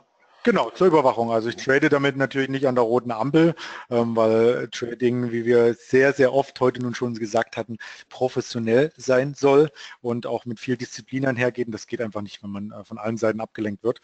Das heißt, zur Überwachung ist es gut, den Stopp nachziehen, alles super, aber ich würde jetzt nicht versuchen, über die App irgendwelche Linien einzuzeichnen und äh, den großen Hedgefonds Konkurrenz machen. Denn wir alle sind, auch das hatten wir ganz am Anfang ja im selben Markt tätig. Also wir äh, geben jetzt, wenn ich jetzt Short gehe, bin ich genau mit dem George Soros im selben Boot. Ich hoffe, er kann schwimmen und hat eine Weste. Mhm. Hast du gut gesagt, hast du gut gesagt.